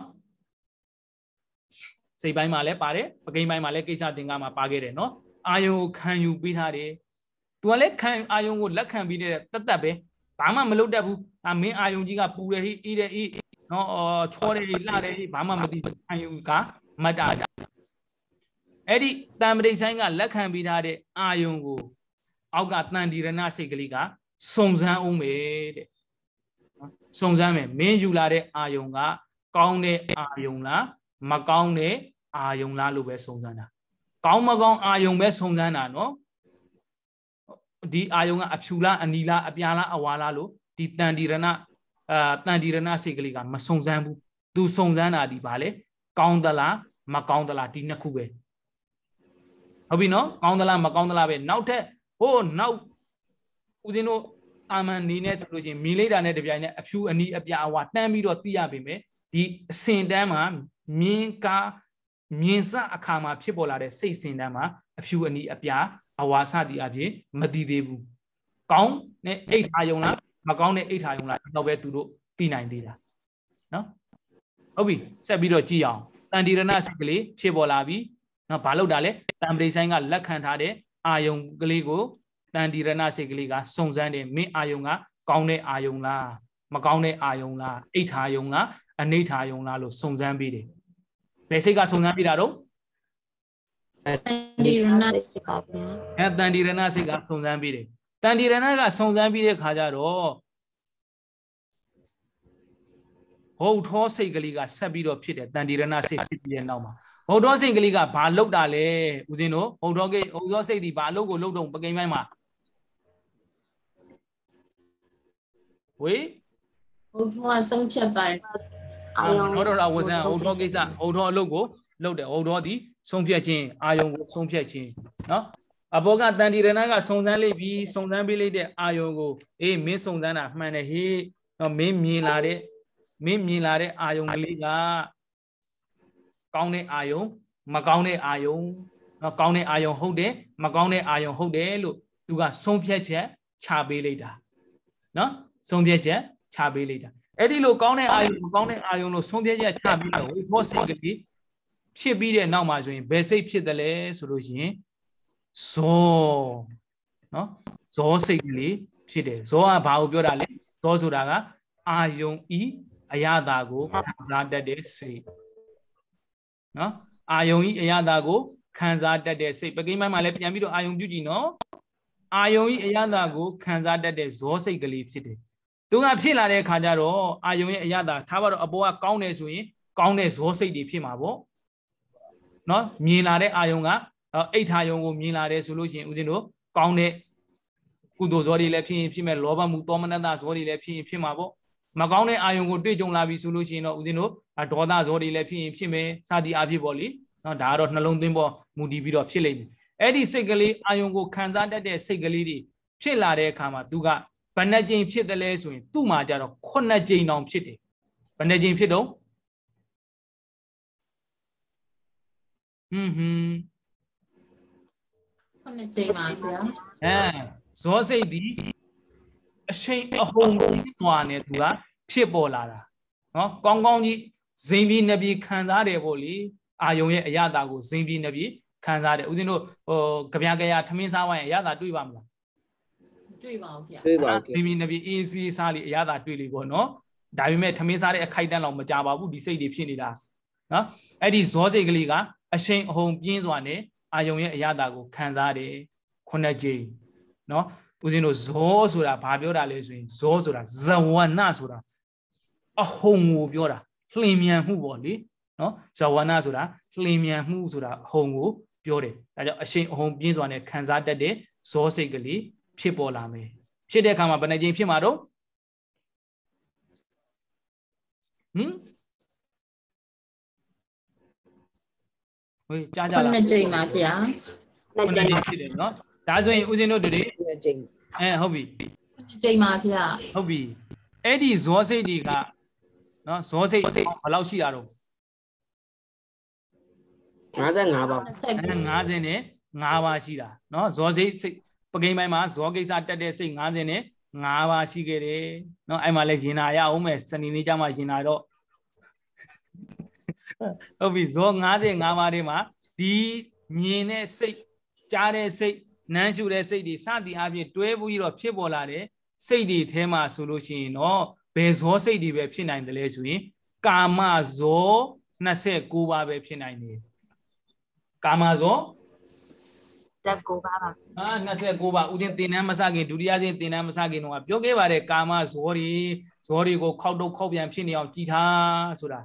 ဟမ်အခုပြကြပြီကာမဇော29ပါပြောကြည့်ပါဦးအခုတော့စိတ်ဆိုင်နပါကုသိုလ်စိတ်20မပါဟာကုသိုလ်ရှိအဝိဇ္ဇာဟမ်ကု သိုလ်စိတ်စနပါဟတိတောပစိတ်တပါမဟာကုသိုလ်စိတ်ရှိပါမဟာကရိယာရစိတ်ရှိပါပြီးသွားပြီလား29ပါအာကုသိုလ်စိတ်က12ပါးရေနောက်ပြီးတော့အာဟိကရိယာထဲမှာဆိုရင်ဟတိတုပ္ပစိတ်ကလေးတစ်ပါးရေနော်ကာမတောပနာစိတ်24ပါးတွေကဆိုရင်မဟာကုသိုလ်စိတ်10ပါးရေမဟာကရိယာစိတ်10ပါးရေ10ပါး10ပါး10ပါးနဲ့ပြည့်သွားပြီလား ဖြစ်သွားပါပြီဖေအဲအဲ့ဒီ29ပါးသောစိတ်ဒီထဲကတဘာဘာသောစိတ်ကဇောစိတ်အနေနဲ့လာပြီးတော့ဖြစ်မှာနော်ဇောစိတ်အနေနဲ့လာပြီးတော့ဖြစ်ပေါ်လာမယ်ဟုတ်ပြီဒါဆိုရင်ဦးဇင်းတို့တွေပြန်ပြီးတော့ဒီနေ့အချိန်ကလည်းခွဲတော်ခွဲသွားပြီဆိုတော့ဟမ်ဘယ်အချိန်ကျမှပြီးတာလဲဆောက်ခွဲအော်အချိန်မပြည့်သေးပါဘူးနော်ကိုနိုင်ကိုနိုင်ရအဲဟို9နိုင်မှာဟုတ်သားပဲ ဦးဇင်းကတွက်မှားသွားတယ် อืมမပြည့်ကျင်သေးဘူးเนาะဟုတ်ပြီဇောတွေဖြစ်လာပြီဦးဇင်းတို့အရှိရခေါင်းစဉ်လေးမှာ6လို့တက်ထားခဲ့တယ်เนาะဒါပေမဲ့စိတ်အကျင့်အရေးအတွက်နဲ့အားဖြစ်ဆိုရင်ပြန်ပြီးတော့ရေးကြည့်အောင် ဒီဇောစိတ်ဒီဘယ်နှကြိမ်ဖြစ်သွားတာတော့ နှစ်ကြိမ်ပါ ခုနှစ်ကြိမ်ဖြစ်သွားတယ်ဟိုမှာအာယုံတစ်ခုကိုမြင်ကြားအာယုံတွေထင်ပေါ်လာတဲ့အခါမှာပထမဦးဆုံးဘဝင်စိတ်ကလေးဘယ်နှကြိမ်ဖြစ်သွားတော့ သုံးကြိမ်ပါဗျာ၃ကြိမ်ဖြစ်သွားတယ်ပြီးတဲ့အခါမှာပင်စတော်ရဝဆန်းစိတ်ကလေး၄ကြိမ်မြောက်မှာဖြစ်တယ်၅ကြိမ်မြောက်မှာမြင်သည့်စိတ်ကလေးဖြစ်တယ်နော်၆ကြိမ်မြောက်မှာအဲတံပရိဆိုင်စိတ်ကလေးဖြစ်တယ်9ကြိမ်မြောက်မှာတန်တိရဏစိတ်၈ကြိမ်မြောက်မှာဟုတ်ထောစိတ်၉ကြိမ်မြောက်မှာဇောစိတ်ဇောစိတ်ကဘယ်နှကြိမ်အောင်ဖြစ်တာတော့နှစ်ကြိမ်ပါဗျာ9ကြိမ်ဆိုတော့၈ရဲ့ခွန်ရဲ့ပေါင်းတော့ဘယ်နှကြိမ်ရသွားပြီလို့ 15ပါဗျာ အဲ35ပါးရသွားပြီစိတ်အကြိမ်အရေအတွက်အားဖြင့်ဆိုရင်35ကြိမ်ရသွားပြီเนาะအဲအမျိုးသားအားဖြင့်ဆိုရင်အောက်မှာအမျိုးသားအားဖြင့်ဆိုရင်တော့6မျိုးပဲတွေ့ရသေးတယ်ပေါ့เนาะအကြိမ်ရေအတွက်သားအားဖြင့်ဆိုရင်6ကြိမ်ရသွားပြီဟုတ်ပြီဒီမှာတော့ဦးဇင်းတို့ကြာမှာပဲဒီဟာနဲ့ကိုဒီတပတ်အတွင်းကိုဒီဟာလေးနဲ့ကိုနားလည်အောင်ရှင်းပြရမှာဘာဖြစ်လို့လဲဆိုရင်ဝီဒီပိုင်းမှာဒီဝီဒီစီဒီ အမျိုးမျိုးမျိုးပါတော့မယ်ဒီဝီဒီပိုင်းမှာနော်နောက်ပြီးတော့ဒီစိတ်တို့လည်းပဲအဲလူတိုင်းလူတိုင်းတိထားသင်တိထားအပ်တဲ့အရာတွေဖြစ်တဲ့အခါကျတော့ဦးဇင်းတို့တို့တွေကြာကြာလေးပြောရမယ်နောက်ပိုင်းကျလို့ရှိရင်တော့မြန်မြန်သွားလို့ရပြီဒီဟာနားလည်သွားပြီဆိုရင်နော်နောက်ပြီးအဲ့ဒီဇောစိတ်ကလည်းပဲ9ကာမဇော29ပါးရှိတယ်အာကုသိုလ်ဇောတွေရှိတယ်ကုသိုလ်ဇောတွေရှိတယ်ကရိယာဇောတွေရှိတယ်ဒါဆိုရင်တပည့်တော်တို့မြင်တဲ့အခါမှာဖြစ်ချင်တဲ့ဇောစိတ်ကလာပြီးတော့ဖြစ်လို့ရသလားဆိုတော့မရဘူး နော်ဖြစ်ချင်တဲ့စိတ်ကလာပြီးတော့ဖြစ်လို့မရဘူးအဲ့ဒီ29ပါးထဲကတပါးပဲနော်29ပါးထဲကတပါးသောစိတ်ကလေးတာလေးခုနှစ်ကြိမ်ဖြစ်မှာအဲ့ဒီတပါးကိုရှာဖွေရမယ်အဲ့ဒီတပါးကကုသိုလ်လည်းရှိတယ်အကုသိုလ်လည်းရှိတယ်ကရိယာလည်းရှိတယ်နော်ဘယ်လိုအကြောင်းတွေဆိုရင်ဘယ်လိုဇောတွေဆောတယ်လဲဆိုရင်ယောနိသောမနတိကာရလို့ခေါ်တဲ့နော်ဒါဒီပါဠိစကားလုံးလေးလည်းကြားဘူးကြမယ်ထင်ပါတယ် ယောနိသောမနတိကာရဆိုတာနော်ယောနိသောမနတိကာရယောနိသောဆိုတာကသင်သောအဖြစ်မနတိစိတ်၌ကာရပြုတာနော်သင်သောအဖြစ်စိတ်၌ပြုတယ်ဆိုတော့ဘာလွယ်လွယ်ပြောလိုက်တော့အသင်အတင်းနှလုံးသွင်းတယ်နှလုံးသွင်းကောင်းတယ်လွယ်လွယ်မှတ်ချင်နှလုံးသွင်းကောင်းတဲ့အခါဆိုလို့ရှိရင်တော့ကုသိုလ်ဇောဆောမယ်တဲ့ နှလုံးသွင်းကောင်းတဲ့အခါဆိုရင်ဘာဇောဆောမှာလဲကုသိုလ်စောပါဟောပါကိုစောအကုသိုလ်ဇောဆောမှာပေါ့အာယုံတစ်ခုကိုဦးဇင်းတို့တွေမြင်လာရပြီဆိုလို့ရှိရင်မြင်လာတဲ့အာယုံပေါ်မှာဦးဇင်းတို့တွေကနှလုံးသွင်းကောင်းထားနိုင်မယ်ဆိုလို့ရှိရင်ကုသိုလ်ဇောဆောမယ်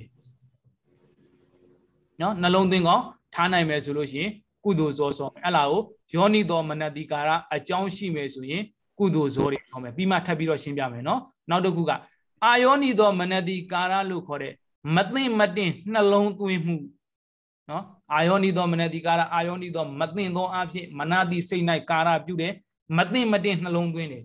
နောက်တက်နားလေအောင်ထပ်ပြရင်နှလုံးသွင်းမကောင်းဘူး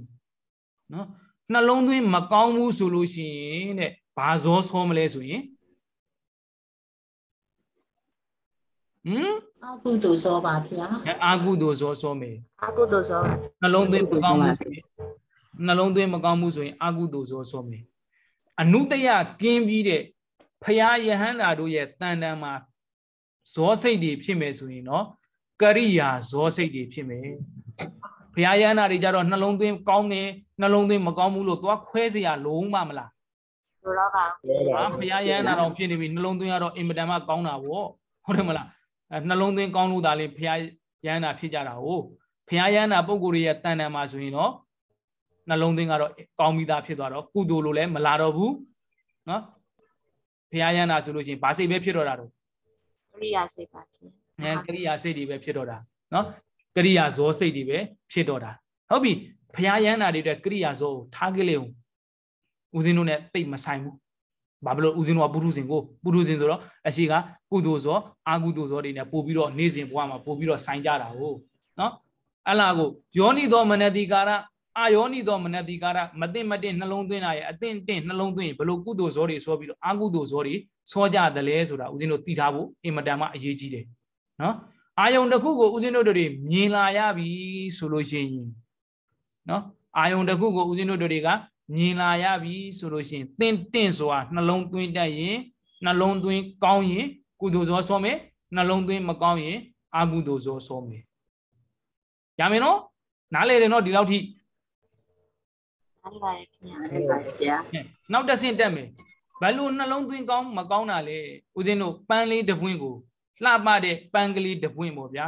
အမျိုးသမီးတွေအတွက်ဆိုရင်နှင်းစီပန်းတွေကြိုက်ကြမယ်ထင်ပါတယ်ဟမ် အားလုံးလက်ခံကြတယ်မလားနှင်းစီပန်းတစ်ပွင့်ကောက်ယူလိုက်ပြီနှင်းစီပန်းတစ်ပွင့်ကိုဦးဇင်းတို့တွေမြင်ရပြီဆိုလို့ရှိရင်နှလုံးသွင်းကောင်းတဲ့သူနဲ့နှလုံးသွင်းမကောင်းတဲ့သူခွဲခြားတော့မယ်တနည်းအားဖြင့်ပြောမယ်ဆိုရင်အာကုသိုလ်ဖြစ်အောင်နှလုံးသွင်းတာရဲ့အာကုသိုလ်ဖြစ်အောင်နှလုံးသွင်းတာရဲ့ဒီနှမျိုးနော်ကုသိုလ်ဖြစ်အောင်နှလုံးသွင်းတာရဲ့အာကုသိုလ်ဖြစ်အောင်နှလုံးသွင်းတာရဲ့ဘလို့ကုသိုလ်ဖြစ်အောင်နှလုံးသွင်းမလဲအာကုသိုလ်ဖြစ်အောင်နှလုံးသွင်းမလဲအမျိုးသမီးတဦး နေ့စီပန်းလေးကိုမြင်တဲ့အခါမှာတက်မဲ့တဲ့စိတ်ကလေးကြိုက်နှစ်သက်တဲ့စိတ်ကလေးဖြစ်မယ်ဆိုရင်အဲ့ဒါကုသိုလ်ဇောလားအာကုသိုလ်ဇောလားအကုသိုလ်ဇောပါဗျာအာတက်နှစ်သက်တဲ့စိတ်ကလေးနှင်းစီပန်းပေါ်မှာတက်နှစ်သက်တဲ့စိတ်ကလေးဖြစ်မယ်ဆိုရင်အာဟုသောဆိုဆိုမှာပေါ့ဘာဖြစ်လို့လဲနှလုံးသွင်းမကောင်းလေတို့ဒီဟာကိုကြည့်ပြီးတော့လိုချင်တဲ့စိတ်တွေဖြစ်နေလို့နှလုံးသွင်းကောင်းတဲ့ခါကျတော့အဲ့ဒီနှင်းစီပန်းလေးကိုပဲနော် တဦးတယောက်ကမြင်တဲ့ခါကျတော့အော်ဒီနှင်းစီပန်းလေးလည်းပဲတနေ့ကျရင်ဘာဖြစ်မှာတော့ညှိုးနွမ်းပြည့်စည်းသွားမှာဟုတ်တယ်မလားညှိုးနှမ်းပျက်စီးသွားရမှာပဲအနေဆသဘောကိုမလွန်ဆန်နိုင်ဘူးเนาะအနေဆသဘောကိုမလွန်ဆန်နိုင်ဘူးပျက်စီးခြင်းသဘောရှိတယ်လို့နှလုံးသွင်းမိမယ်ဆိုရင်ကောင်းသောနှလုံးသွင်းမိမယ်တနည်းအားဖြင့်ကုသိုလ်ဖြစ်အောင်နှလုံးသွင်းမိမယ်ဆိုရင်ဘာဇောဆောမှာတော့ ကု သိုလ်ဇောပါဗျာကုသိုလ်ဆုံးပါဗျာကုသိုလ်ဇောဆောမှာအဲ့ဒီကုသိုလ်ဇောတော်မှာကုသိုလ်ဇောဆိုရင်မဟာကုသိုလ်စိတ်၈ပါးရှိတယ်အဲ့ဒီ၈ပါးလုံးဖြစ်တာလားဆိုတော့မဟုတ်ဘူး၈ပါးတွေကတစ်ပါးပဲဖြစ်မှာနော်၈ပါးတွေကတပါးပဲဖြစ်မှာသောမနတဖြစ်ရင်ဖြစ်မယ်ဥပိ္ပခာဖြစ်ရင်ဖြစ်မယ်ညာနာတံပြုတ်ဖြစ်ရင်ဖြစ်မယ်ညာနာဝိပြုတ်ဖြစ်ရင်ဖြစ်မယ်အသင်္ခါရိကစိတ်ဖြစ်ရင်ဖြစ်မယ်တသင်္ခါရိကစိတ်ဖြစ်ရင်ဖြစ်မယ်ဒါတော့ဦးဇင်းတို့တွေတိတိကျကျသွားပြီးတော့ပြောလို့မရဘူးဒီခိုက်တန်းမှာပါတဲ့ဇောတွေတဲ့ကို ဘာဖြစ်လို့လဲဆိုရင်သောမနတဖြစ်ဖို့ရန်အတွက်အကြောင်းတွေကရှိသေးတယ်ဦးဇင်းတို့ပထမစစ်မှာမပြောခဲ့ဘူးအာတီကာကျော်ရောက်ရင်เนาะတီကာကျော်ဆက်တဲ့လေးလာမယ်ဆိုလို့ရှိရင်ဦးဇင်းတို့တောမနတဖြစ်ခြင်းအကြောင်းတွေရှိတယ်ဥပေက္ခဖြစ်ခြင်းအကြောင်းတွေရှိတယ်ဒေဒီကရတံပြုတ်ဖြစ်ခြင်းအကြောင်းတွေရှိတယ်ဒေဒီကရဝေပြုတ်ဖြစ်ခြင်းအကြောင်းတွေရှိတယ်စသည်အဖြစ်အများကြီးရှိတယ်ပေါ့နော်အဲဒါတွေကဦးဇင်းတို့နားရှုံပါဆိုလို့အခြေခံမှာမပြောထားဘူးဟုတ်ပြီအဲ့ဒီလိုမျိုးကုသိုလ်ဆိုအာကုသိုလ်ဆိုစောတာသဘောပေါက်သွားပြီ နောက်ထပ်ထင်ရှားအောင်ဦးဇင်းတို့တွေပြောရအောင်နော်ကိုကြိုက်နှစ်သက်တဲ့အာတရားတန်ပေါ့ဗျာပဋ္ဌာန်းပူဇော်နေတဲ့အတန်ပဋ္ဌာန်းပူဇော်နေတဲ့အတန်ကိုဦးဇင်းတို့တွေကြားရင်ကုသိုလ်ဇောဆောမှာလားအကုသိုလ်ဇောဆောမှာလား ကုသိုလ်ဆုံး ပဋ္ဌာန်းရွတ်နေတဲ့အတန်ကိုကြားရင်အာတေချာကြီးတွေစဉ်းစားနေကြတယ်ဗျာပဋ္ဌာန်းရွတ်တာမကြိုက်တဲ့လူတွေအများကြီးပါလာမှာဇောပါကုသိုလ်ဆုံးပါဗျာအကုသိုလ်ဇောနှလုံးသွင်းမကောင်းတဲ့လူတွေတွေ့ကြတော့ဘာဖြစ်မလဲကုသိုလ်ဆုံးနှလုံးသွင်းမကောင်းတဲ့အာဒီဘုန်းကြီးတွေအလုံးမရှိတော့ခုနှစ်ရက်ခုနှစ်ပြည်နေမနာညမအားနဲ့လာပြီးတော့អော်နေတာအေးကြီးပြက်တယ်ဟေးဆိုအဲ့ဒီလိုမျိုးနှလုံးသွင်းသွားပြီဆိုရင်တော့အဲ့ဒီပုံကိုယ်ရဲ့တဏ္ဍာမှာဘာဇောဆောမှာ อืมလာရကြပြီအကုသိုလ်ဇောအပါကုသိုလ်ဆုံးပါဗျာဟောကြားကြားလိုက်ကြတယ်နော်တရားအတန်ကိုတရားတရားအတန်ကိုမူတည်ပြီးတော့ပဲနှလုံးသွင်းကောင်းသူနဲ့နှလုံးသွင်းမကောင်းသူကုသိုလ်ဆိုအကုသိုလ်ဆိုဆောသွားတာမထင်ရှားဘူးလားရှားပါတယ်ရဗျာဟွန်းပါပါတယ်ဗျာတရားအတန်ကိုကြားနေရတာကိုနှလုံးသွင်းကောင်းတဲ့လူတွေကြတော့ ကုသိုလ်ဆိုဆောသွားမယ်ပေါ့ဦးဇင်းတို့တွေဖားနဲ့သားလေးတို့နော်ဟောဗိဓမာပဋ္ဌာန်းဗိဓမာတရားတော်တွေကိုနာကြပြီးတော့ယန္တာဖြစ်သွားရတဲ့ယန္တာ900အလောင်းလျာတွေရှေးဘွားကဘာဖြစ်ခဲ့တာတော့လင်းတို့သား900ပါဟာလင်းတို့သားတလိษံလေးတွေငါရပါဟမ်တလိษံလေးတွေနှလုံးသွင်းကောင်းတော့ကုသိုလ်ဇောတွေဆောပြီးတော့နတ်ပြည်ရောက်သွားတာဗောနော်ပရိပဋ္ဌာန်းကြီးညွတ်နေတာကိုအာနားကြီးလိုက်တာအေးပြက်လိုက်တာလော်စပီကာကြီးတွေဖွင့်ပြီးတော့နော်ခုနှစ်အာတရွက်ကလုံးကြောင်း စူညံနေအောင်ညွတ်နေတာအဲ့လားတွေတော့မပါဘူးဗောလေနော်ကိုကနှလုံးသွင်းကောင်းဖို့ဗောလိုလိုရေးကြည့်တာဗောနော်အဲ့နာတွေကိုတတရားတန်တွေကြားနေရတော့အာစူးလိုက်တာနားကြီးလိုက်တာဆိုပြီးတော့နှလုံးသွင်းမကောင်းဘူးဆိုရင်ကုသိုလ်ဇောဆောမှာလားအကုသိုလ်ဇောဆောမှာလားအကုအသိုလ်ကုသောသိုလ်ဇောဆုံးမှာပါဗျာကုသိုလ်ဇောဆုံးမှာပါဗျာအကုသိုလ်ဇောဆောမှာဒါကကောင်းတဲ့အာယုံပေါ်မူတည်ပြီးတော့ကုသိုလ်ဇောဆောနိုင်တယ်လို့အကုသိုလ်ဇောဆောနိုင်တယ်မကောင်းတဲ့အာယုံပေါ်လည်းဒီတိုင်းပဲနော် မကောင်းတဲ့အာယုံပေါ်ကိုမြင်ရတဲ့အခါမှာလည်းဘယ်လိုတွေကောင်းတဲ့ဇောမကောင်းတဲ့ကုသိုလ်ဇောအကုသိုလ်ဇောဆောနိုင်တာပဲနော်အဲဒီရှင်ကဘယ်နှစ်နာရီရှိသွားပြီတော့9နာရီထိုးတော့စားပြီးတောက်ပြီးကြကုန်တော့ပါပြီနော်မကောင်းတဲ့အာယုံမစင်ခွေးတီကောင်ဘုတ်ကိုအာယုံတစ်ခုကိုမြင်ရပြီဆိုလို့ရှိရင်နှလုံးသွင်းမကောင်းဘူးဆိုလို့ရှိရင်ဦးဇင်းတို့တွေဒေါသဇောတွေဖြစ်နိုင်တယ်အာဒါကြီးအာယုံကြီးကမြင်ရပြန်ပြီကွာ နော်မကြားခြင်းနဲ့ဟာကြီးငါတို့စားနေတာဒီကိုရောကလည်းလိုင်းမသိပြောတာစားပြီးတောက်ပြီးပါပြီလို့ဦးဇင်းထင်လို့ပြောရပါနော်အာကြားနေရတာအာဒီအတန်ကြီးကကြားပြန်ပြီဒီကိုရောအတန်ကြီးကကြားနေရပြန်ပြီဆိုတာအဲ့ဒီလိုမျိုးနှလုံးသွင်းမကောင်းဘူးဆိုလို့ရှိရင်ဒေါသဇောတွေလည်းဖြစ်ခြင်းဖြစ်မှာပေါ့ဟုတ်တယ်မလားဟမ်မှန်ပါဗျာဟမ်အဲ့ဒီမကောင်းတဲ့အာယုမှန်ပါဗျာကိုမြင်နေရတဲ့အကောင်ပုတ်ကြီးပေါ့ဗျာဟွန်းဟွန်းဟွန်း အကောင်ပုတ်ကြီးကိုမြင်ရတဲ့သူတယောက်ကနှလုံးသွင်းကောင်းလေးနဲ့တွင်းလိုက်မယ်ဘယ်လိုနှလုံးသွင်းကောင်းလဲသူ့ရဲ့ဒီအကောင်ပုတ်ကြီးလည်းပဲပုတ်ပွားပျက်စီးရတယ်လို့မျိုးပဲငါရဲ့ခန္ဓာကိုယ်ကြီးလည်းပဲတနေ့ကျရင်ဒီသဘောကိုမလွန်ဆန်နိုင်ဘူးအနိစ္စသဘောတရားတွေကိုမလွန်ဆန်နိုင်ဘူးဒီလိုမျိုးပဲဖြစ်ရမှာပါလားဆိုပြီးတော့အတုပပညာတွေပွားမိပြီးတော့နှလုံးသွင်းကောင်းမယ်ဆိုလို့ရှိရင်ဘာစောဆုံးမှာတော့သိုလ်သောကုသိုလ်ဇောဆုံးပါမယ်ဗျာဇောပါဗျာ ။ဒါလို့ဆိုရင်အလုံးထင်ရှားကြမယ်ထင်တယ်။ဒီယောနီသောမနတိကာရဆိုတဲ့အကြောင်းရှိလျင်ကုသိုလ်ဇောဆောတယ်။အာယောနီသောမနတိကာရဆိုတဲ့အကြောင်းရှိလျင်အာကုသိုလ်ဇောဆောတယ်ဆိုတာအလုံးနားလည်ကြမလား။နားလည်ပါတယ်ခင်ဗျာ။အဲအလုံးနားလည်ကြမယ်ထင်ပါတယ်။နော်ဒါကြောင့်ဦးဇင်းတို့တွေရဲ့တန်တန်မှာအာယုံကတော့ဦးဇင်းတို့သွားပြီးတော့ပြောင်းလို့မရဘူး။ဘာကိုပြောင်းရမလဲဦးဇင်းတို့နှလုံးသွင်းကိုပဲပြောင်းလို့ရမှာ။ထားပါတော့လူတယောက်က နော်ခုနပြောသလိုရက်ွက်ထဲမှာအော်ဆဲနေတဲ့လူတစ်ယောက်ဆဲနေတဲ့အတန်ဒီကောင်းတဲ့အတန်လားဆိုးတဲ့အတန်လားဆိုးတဲ့အတန်ပါဗျာဆိုးတဲ့အတန်ကိုဆဲနေတဲ့အတန်ကိုကိုကဆုံးမလမ်းညွန်ပေးပြီးတော့ချင်းလို့တော့ရတာပေါ့နော်ဒါပေမဲ့ဆဲနေတဲ့အခိုက်အတန့်မှာသွားပြီးတော့သူ့အာယုံကိုပြန်ပြီးတော့ချင်းလို့မရတော့ဘူးချင်းလို့ရပါမလားမကောင်းတဲ့အာယုံနားတွေလည်ပါဗျာအဲအဲ့လာကိုပဲကိုကနှလုံးသွင်းမကောင်းမဲနဲ့ နော်နှလုံးသွင်းမကောင်းမဲနဲ့အာယောနိသောမနတိကာရထက်ပြီးတော့ဖြစ်လိမ့်မယ်ဆိုရင်အာဟုသောဇောဟာမကောင်းတဲ့အာယုံကိုအကြောင်းပြုပြီးတော့မကောင်းတဲ့စိတ်တွေကိုယ့်ရဲ့တဏ္ဍာမှာထပ်ဖြစ်လာမှာပဲဟုတ်တယ်နော်မှန်ပါကောင်းတဲ့အာယုံဘက်မှာလည်းဒီတိုင်းပဲခုနပြောသလိုမျိုးတရားအတန်ဆိုတဲ့ကောင်းတဲ့အာယုံနော်ကိုယ်တွေအတွက်ကတော့ကောင်းခြင်းကောင်းမယ်တခြားသူအတွက်ကမကောင်းခြင်းမကောင်းဖြစ်သွားနိုင်တာပဲနော် ဟောဗုဒ္ဓဘာသာတွေအတွက်တရားတန်ကကောင်းခြင်းပဲမဲ့တခြားဘာသာတွေအတွက်ကတော့မကောင်းခြင်းမကောင်းဖြစ်သွားမှာပေါ့သူတို့ရဲ့နှလုံးသွင်းပေါ်နှလုံးသွင်းမှုပေါ်မူတည်ပြီးတော့ပဲကုသိုလ်ဇောတွေအကုသိုလ်ဇောတွေကကွဲပြားသွားမှာပဲနော်အတရားတန်ကိုအကြောင်းပြုပြီးတော့ဗုဒ္ဓဘာသာတွေမှာကုသိုလ်ဖြစ်မှာတော့မဟုတ်ဗုဒ္ဓဘာသာတွေလည်းတရားတန်ကိုကြားရင်လည်းအကုသိုလ်ဖြစ်တာတွေမရှိနိုင်ဘူးလားရှိနိုင်ပါတယ်ဗျာရှိနိုင်အဲဗုဒ္ဓဘာသာမှာဥစဉ်ကောမဖြစ်နိုင်ဘူးလားဆိုတော့ဥစဉ်လည်းဖြစ်တာပဲ ဘာဖြစ်လို့စိတ်တွေရဲ့ဖြစ်ပုံပြက်ပုံကနှင်းမြန်နေနော်တရားနာနေရင်လည်းကုသိုလ်စိတ်တွေဖြစ်ရင်ဖြစ်နေမှာပဲအကုသိုလ်စိတ်တွေဖြစ်ရင်ဖြစ်နေမှာပဲနော်ဥပမာထားပါတော့အတန်လေးကตายာနေတယ်ဆိုရင်အဲ့ตายာတဲ့အတန်ပုံမှာတရားဟောနေတဲ့ဘုန်းကြီးရဲ့အတန်တရားစာရွတ်နေတဲ့ဒကာဒကမတွေရဲ့အတန်ကตายာတဲ့အဲ့ဒီตายာဘုံမှာတက်မှတ်တဲ့စိတ်ကလေးဖြစ်သွားရင်ကုသိုလ်စိတ်လားအကုသိုလ်စိတ်လားတက်မှတ်တာက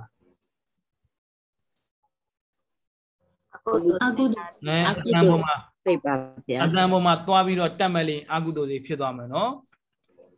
ဟုတ်ပြီဒါကကောင်းတဲ့အာယုံပေါ်မကောင်းတဲ့အာယုံပေါ်အမျိုးမျိုးကိုမူတည်ပြီးတော့ဥဒိနတို့တွေဒီယောနိတော်မနတိကာရအာယောနိတော်မနတိကာရလေးတွေနှလုံးသွင်းလေးတွေပေါ်မူတည်ပြီးတော့ကုသိုလ်ဇောအကုသိုလ်ဇောတွေဖွဲ့သွားရတယ်ဥဒိနတို့ပြောင်းနိုင်တာဘာကိုပြောင်းနိုင်တယ်လဲဆိုရင်ကိုယ့်ရဲ့စိတ်ကိုတော့ကိုပြောင်းနိုင်တယ်မှန်ရဲ့လားအာယုံကိုတော့သွားပြောင်းလို့မရဘူး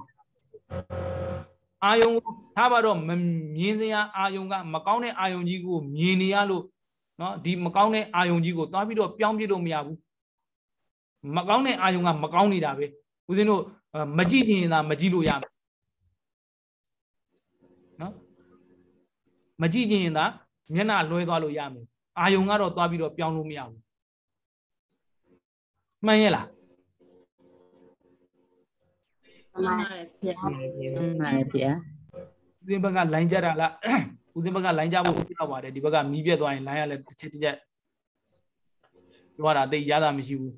နောက်ကတန်းတန်းမလိုက်လာဘူးမဟုတ်အတန်းမလိုက်ဘူးဆိုတာဦးစင်းပြောတဲ့အတန်းကအဲ့ဒီဦးစင်းဘက်ကလိုင်းမကောင်းတော့အဲ့ဒီဘက်ကိုချက်ချင်းမရောက်သွားတာပြောတာမှန်ပါဗျာอืมအခုတော့အဆင်ပြေကြပြီထင်တယ်မှန်ပါဗျာအဲဟုတ်ပြီဟွန်းဟွန်းဟွန်းဟာ အဲ့ဒီလိုအာယုံကိုသွားပြီးတော့ပြောင်းလို့မရဘူးဘာကိုပြောင်းလို့ရလဲနှလုံးသွင်းမှုဆိုတဲ့ဦးဇင်းတို့ရဲ့နှလုံးသွင်းမှုယောနိတော်မနတိကာရပေါ့နှလုံးသွင်းမှုဆိုရင်တော့ယောနိတော်တို့အာယောနိတော်တို့ထည့်ကြပါဘူးမနတိကာရကိုတော့သွားပြောင်းလို့ရတယ်ဟမ်ကောင်းတဲ့အာယုံပဲတွေ့တွေ့ဆိုတဲ့အာယုံပဲတွေ့တွေ့ကုသိုလ်ဖြစ်အောင်ပွားများရင်နှလုံးသွင်းရင်ကုသိုလ်စိတ်ကုသိုလ်ဇောတွေဖြစ်မှာပေါ့အကုသိုလ်ဖြစ်အောင်ပွားများရင်အကုသိုလ်ဇောတွေဖြစ်မှာပေါ့နော်အေးဒီနေရာမှာပြောစရာရှိတာဘာတွေပြောစရာရှိသွားသလဲဆိုရင်ဦးဇင်းတို့ ယောနိတော်မနတိကာရအရေးကြီးတယ်ဆိုတာဦးဇင်းတို့သတိထားရမယ်နော်မြတ်စွာဘုရားအာမစ္စည်းမမစ္စည်းမနိကေမှာဟောတော်မူတာရှိတယ်တုံနာမယ်တော့မေ့သွားပြီ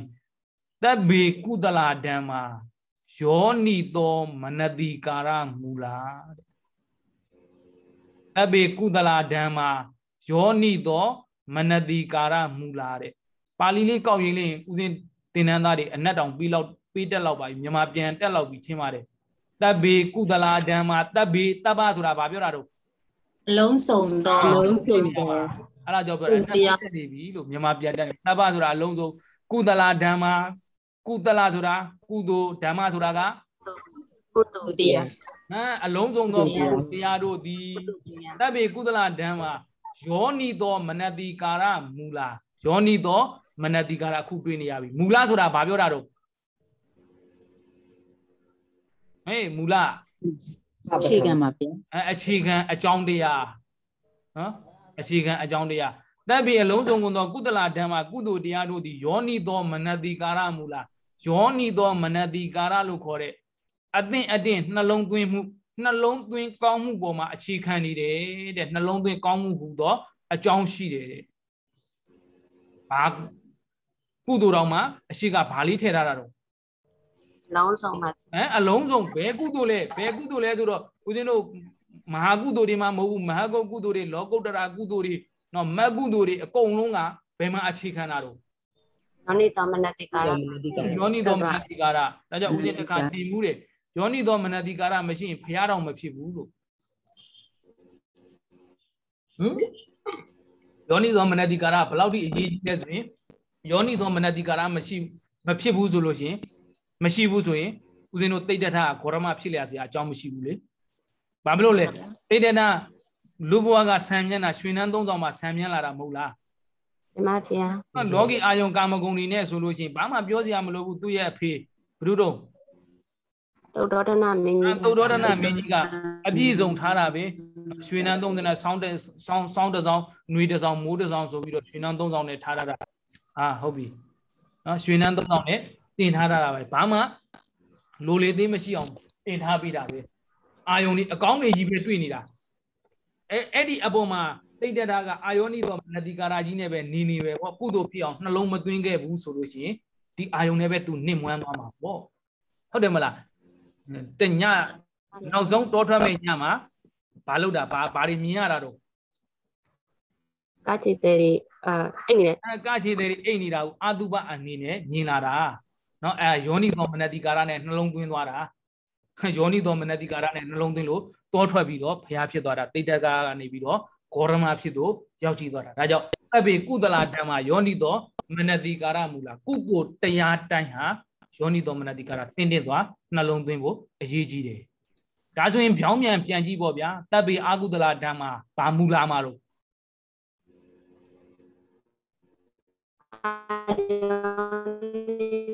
မနတိကာရပါဗျာအာကုသို့မှန်သမျှအာယောနိသောမနတိကာရအကြောင်းရှိတယ်နော်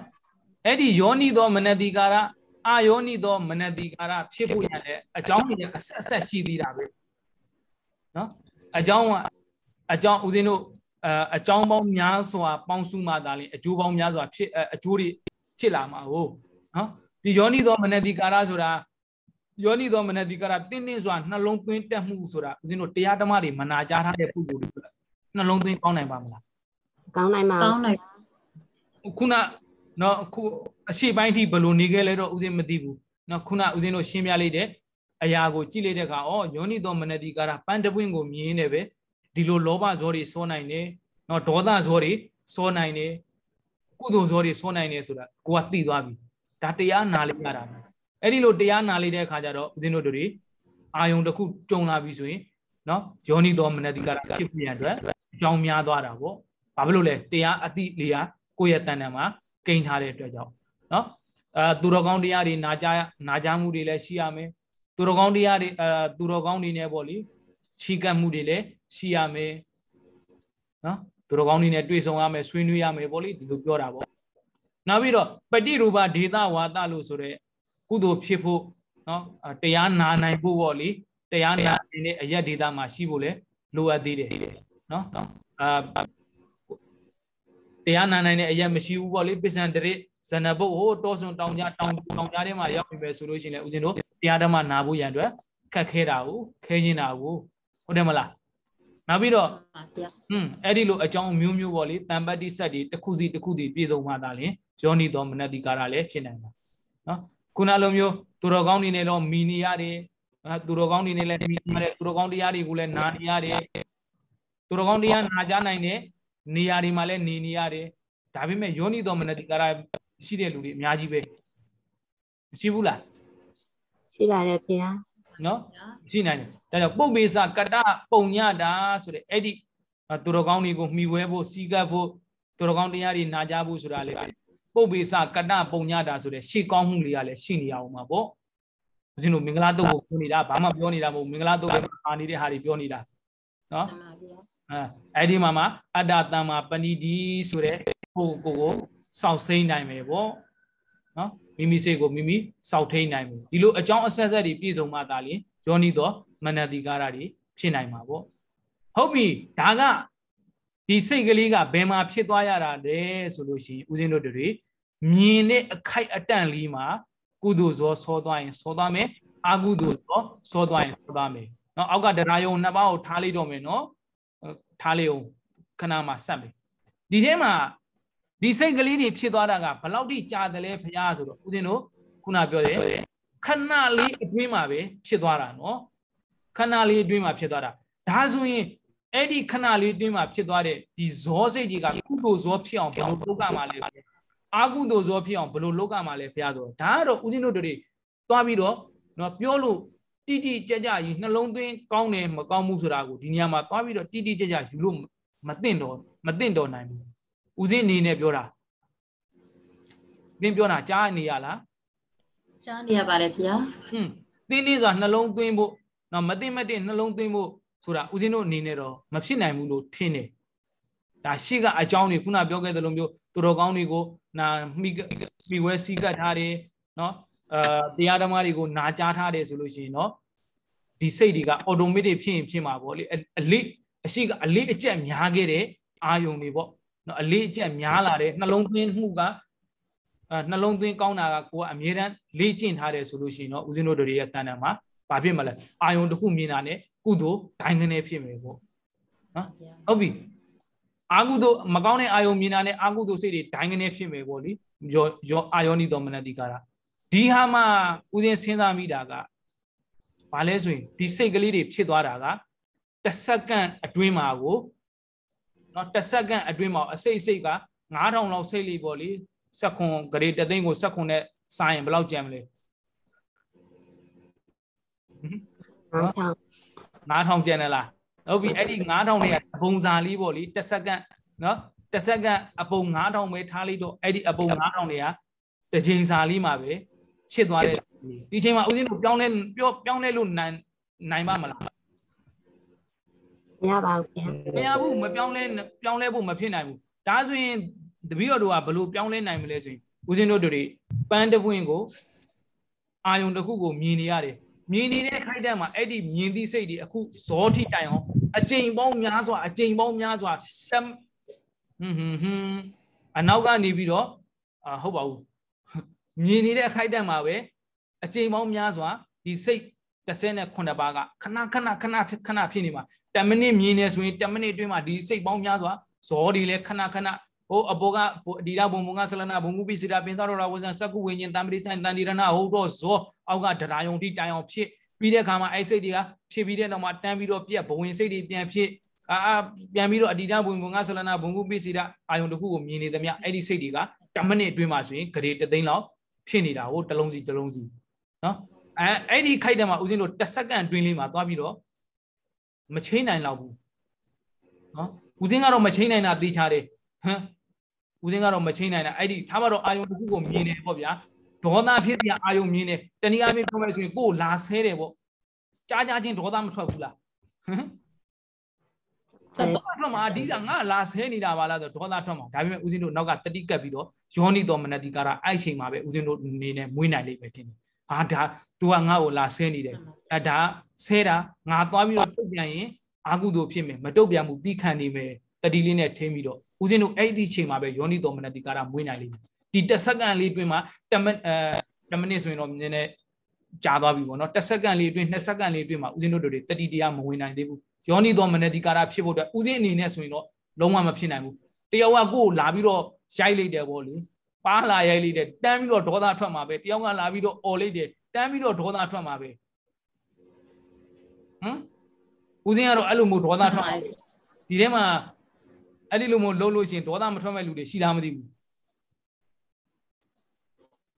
မရှိတော့ပါဘူးဗျာမို့ရှိရင်လနောည်းက်မှသာအတိနဲ့ပြန်ရှိရင်လည်းဆန်းကြည့်လို့အဲရှိရင်ဆန်းကြည့်ခြင်းလို့ဟမ်အောင်ရွှေလိုက်တော့မင်းတို့သူများလာပြီးတော့လာရက်ပြီဆိုလို့ရှိရင်မင်းဒေါသထွက်မှာလားအမဒေါဒေါသသတော့တန်ထွက်သွားမှာပဲနော်ဒါပေမဲ့ဦးဇင်းတို့အဲ့ဒီအခိုက်အတန့်လေးမှာတော့သွားပြီးတော့ဘလို့မှမထိနိုင်ဘူးလေချက်ချင်းဗျမ်းဆိုရင် နေရင်လာအောင်ဗျမ်းဆိုရင်ဒေါင်းကနေဆိုဒေါသထွက်သွားမှာပဲအဲဒေါသထွက်ဖို့ရန်အတွက်ကိုစိတ်တွေကဒေါသစိတ်ကလေးတစ်ခုတည်းမဟုတ်ဘူးနော်စိတ်အစင်းတန်းတွေကထပ်ပြီးတော့လာအောင်မှာသူ့ပိုင်သူကာယဝိညာဉ်စိတ်ပေါ့လေဒုက္ခတာကိုကာယဝိညာဉ်စိတ်နဲ့အတိဒဘုံဘုံကဆလနာဘုံကိုပေးစီတာပင်သာပင်သာတော်တာဝဇံဒုက္ခတာကိုကာယဝိညာဉ်လာရတဲ့ခါကျတော့နာသွားတာကိုဒုက္ခတာကိုကာယဝိညာဉ်ပြီးတဲ့အခါမှာအဲတံပရိဆိုင်တန်ဒီရဏဟုတ်တော့ဇောအဲ့မှာဇောမှာဒေါသဇောတွေလာလိမ့်မယ်တန်ပြီးတော့ဖြစ်သွားတာဟုတ်တယ်နော် တိုင်းပြီးတော့ဒါပေမဲ့ဦးဇင်းတို့တွေက10မိနစ်တော်၎င်းစက္ကန့်30လောက်ကြာပြီးတော့မှလောဟာငါဒေါသစိတ်တွေဖြစ်နေပါလားဒါမကောင်းတဲ့စိတ်တွေပဲလို့ယောနီတော်မနတိကာရလေးနဲ့ပြန်မွေးလိမ့်မယ်ဆိုရင်အဲ့ဒီအချိန်မှာဖြစ်သွားတာပဲ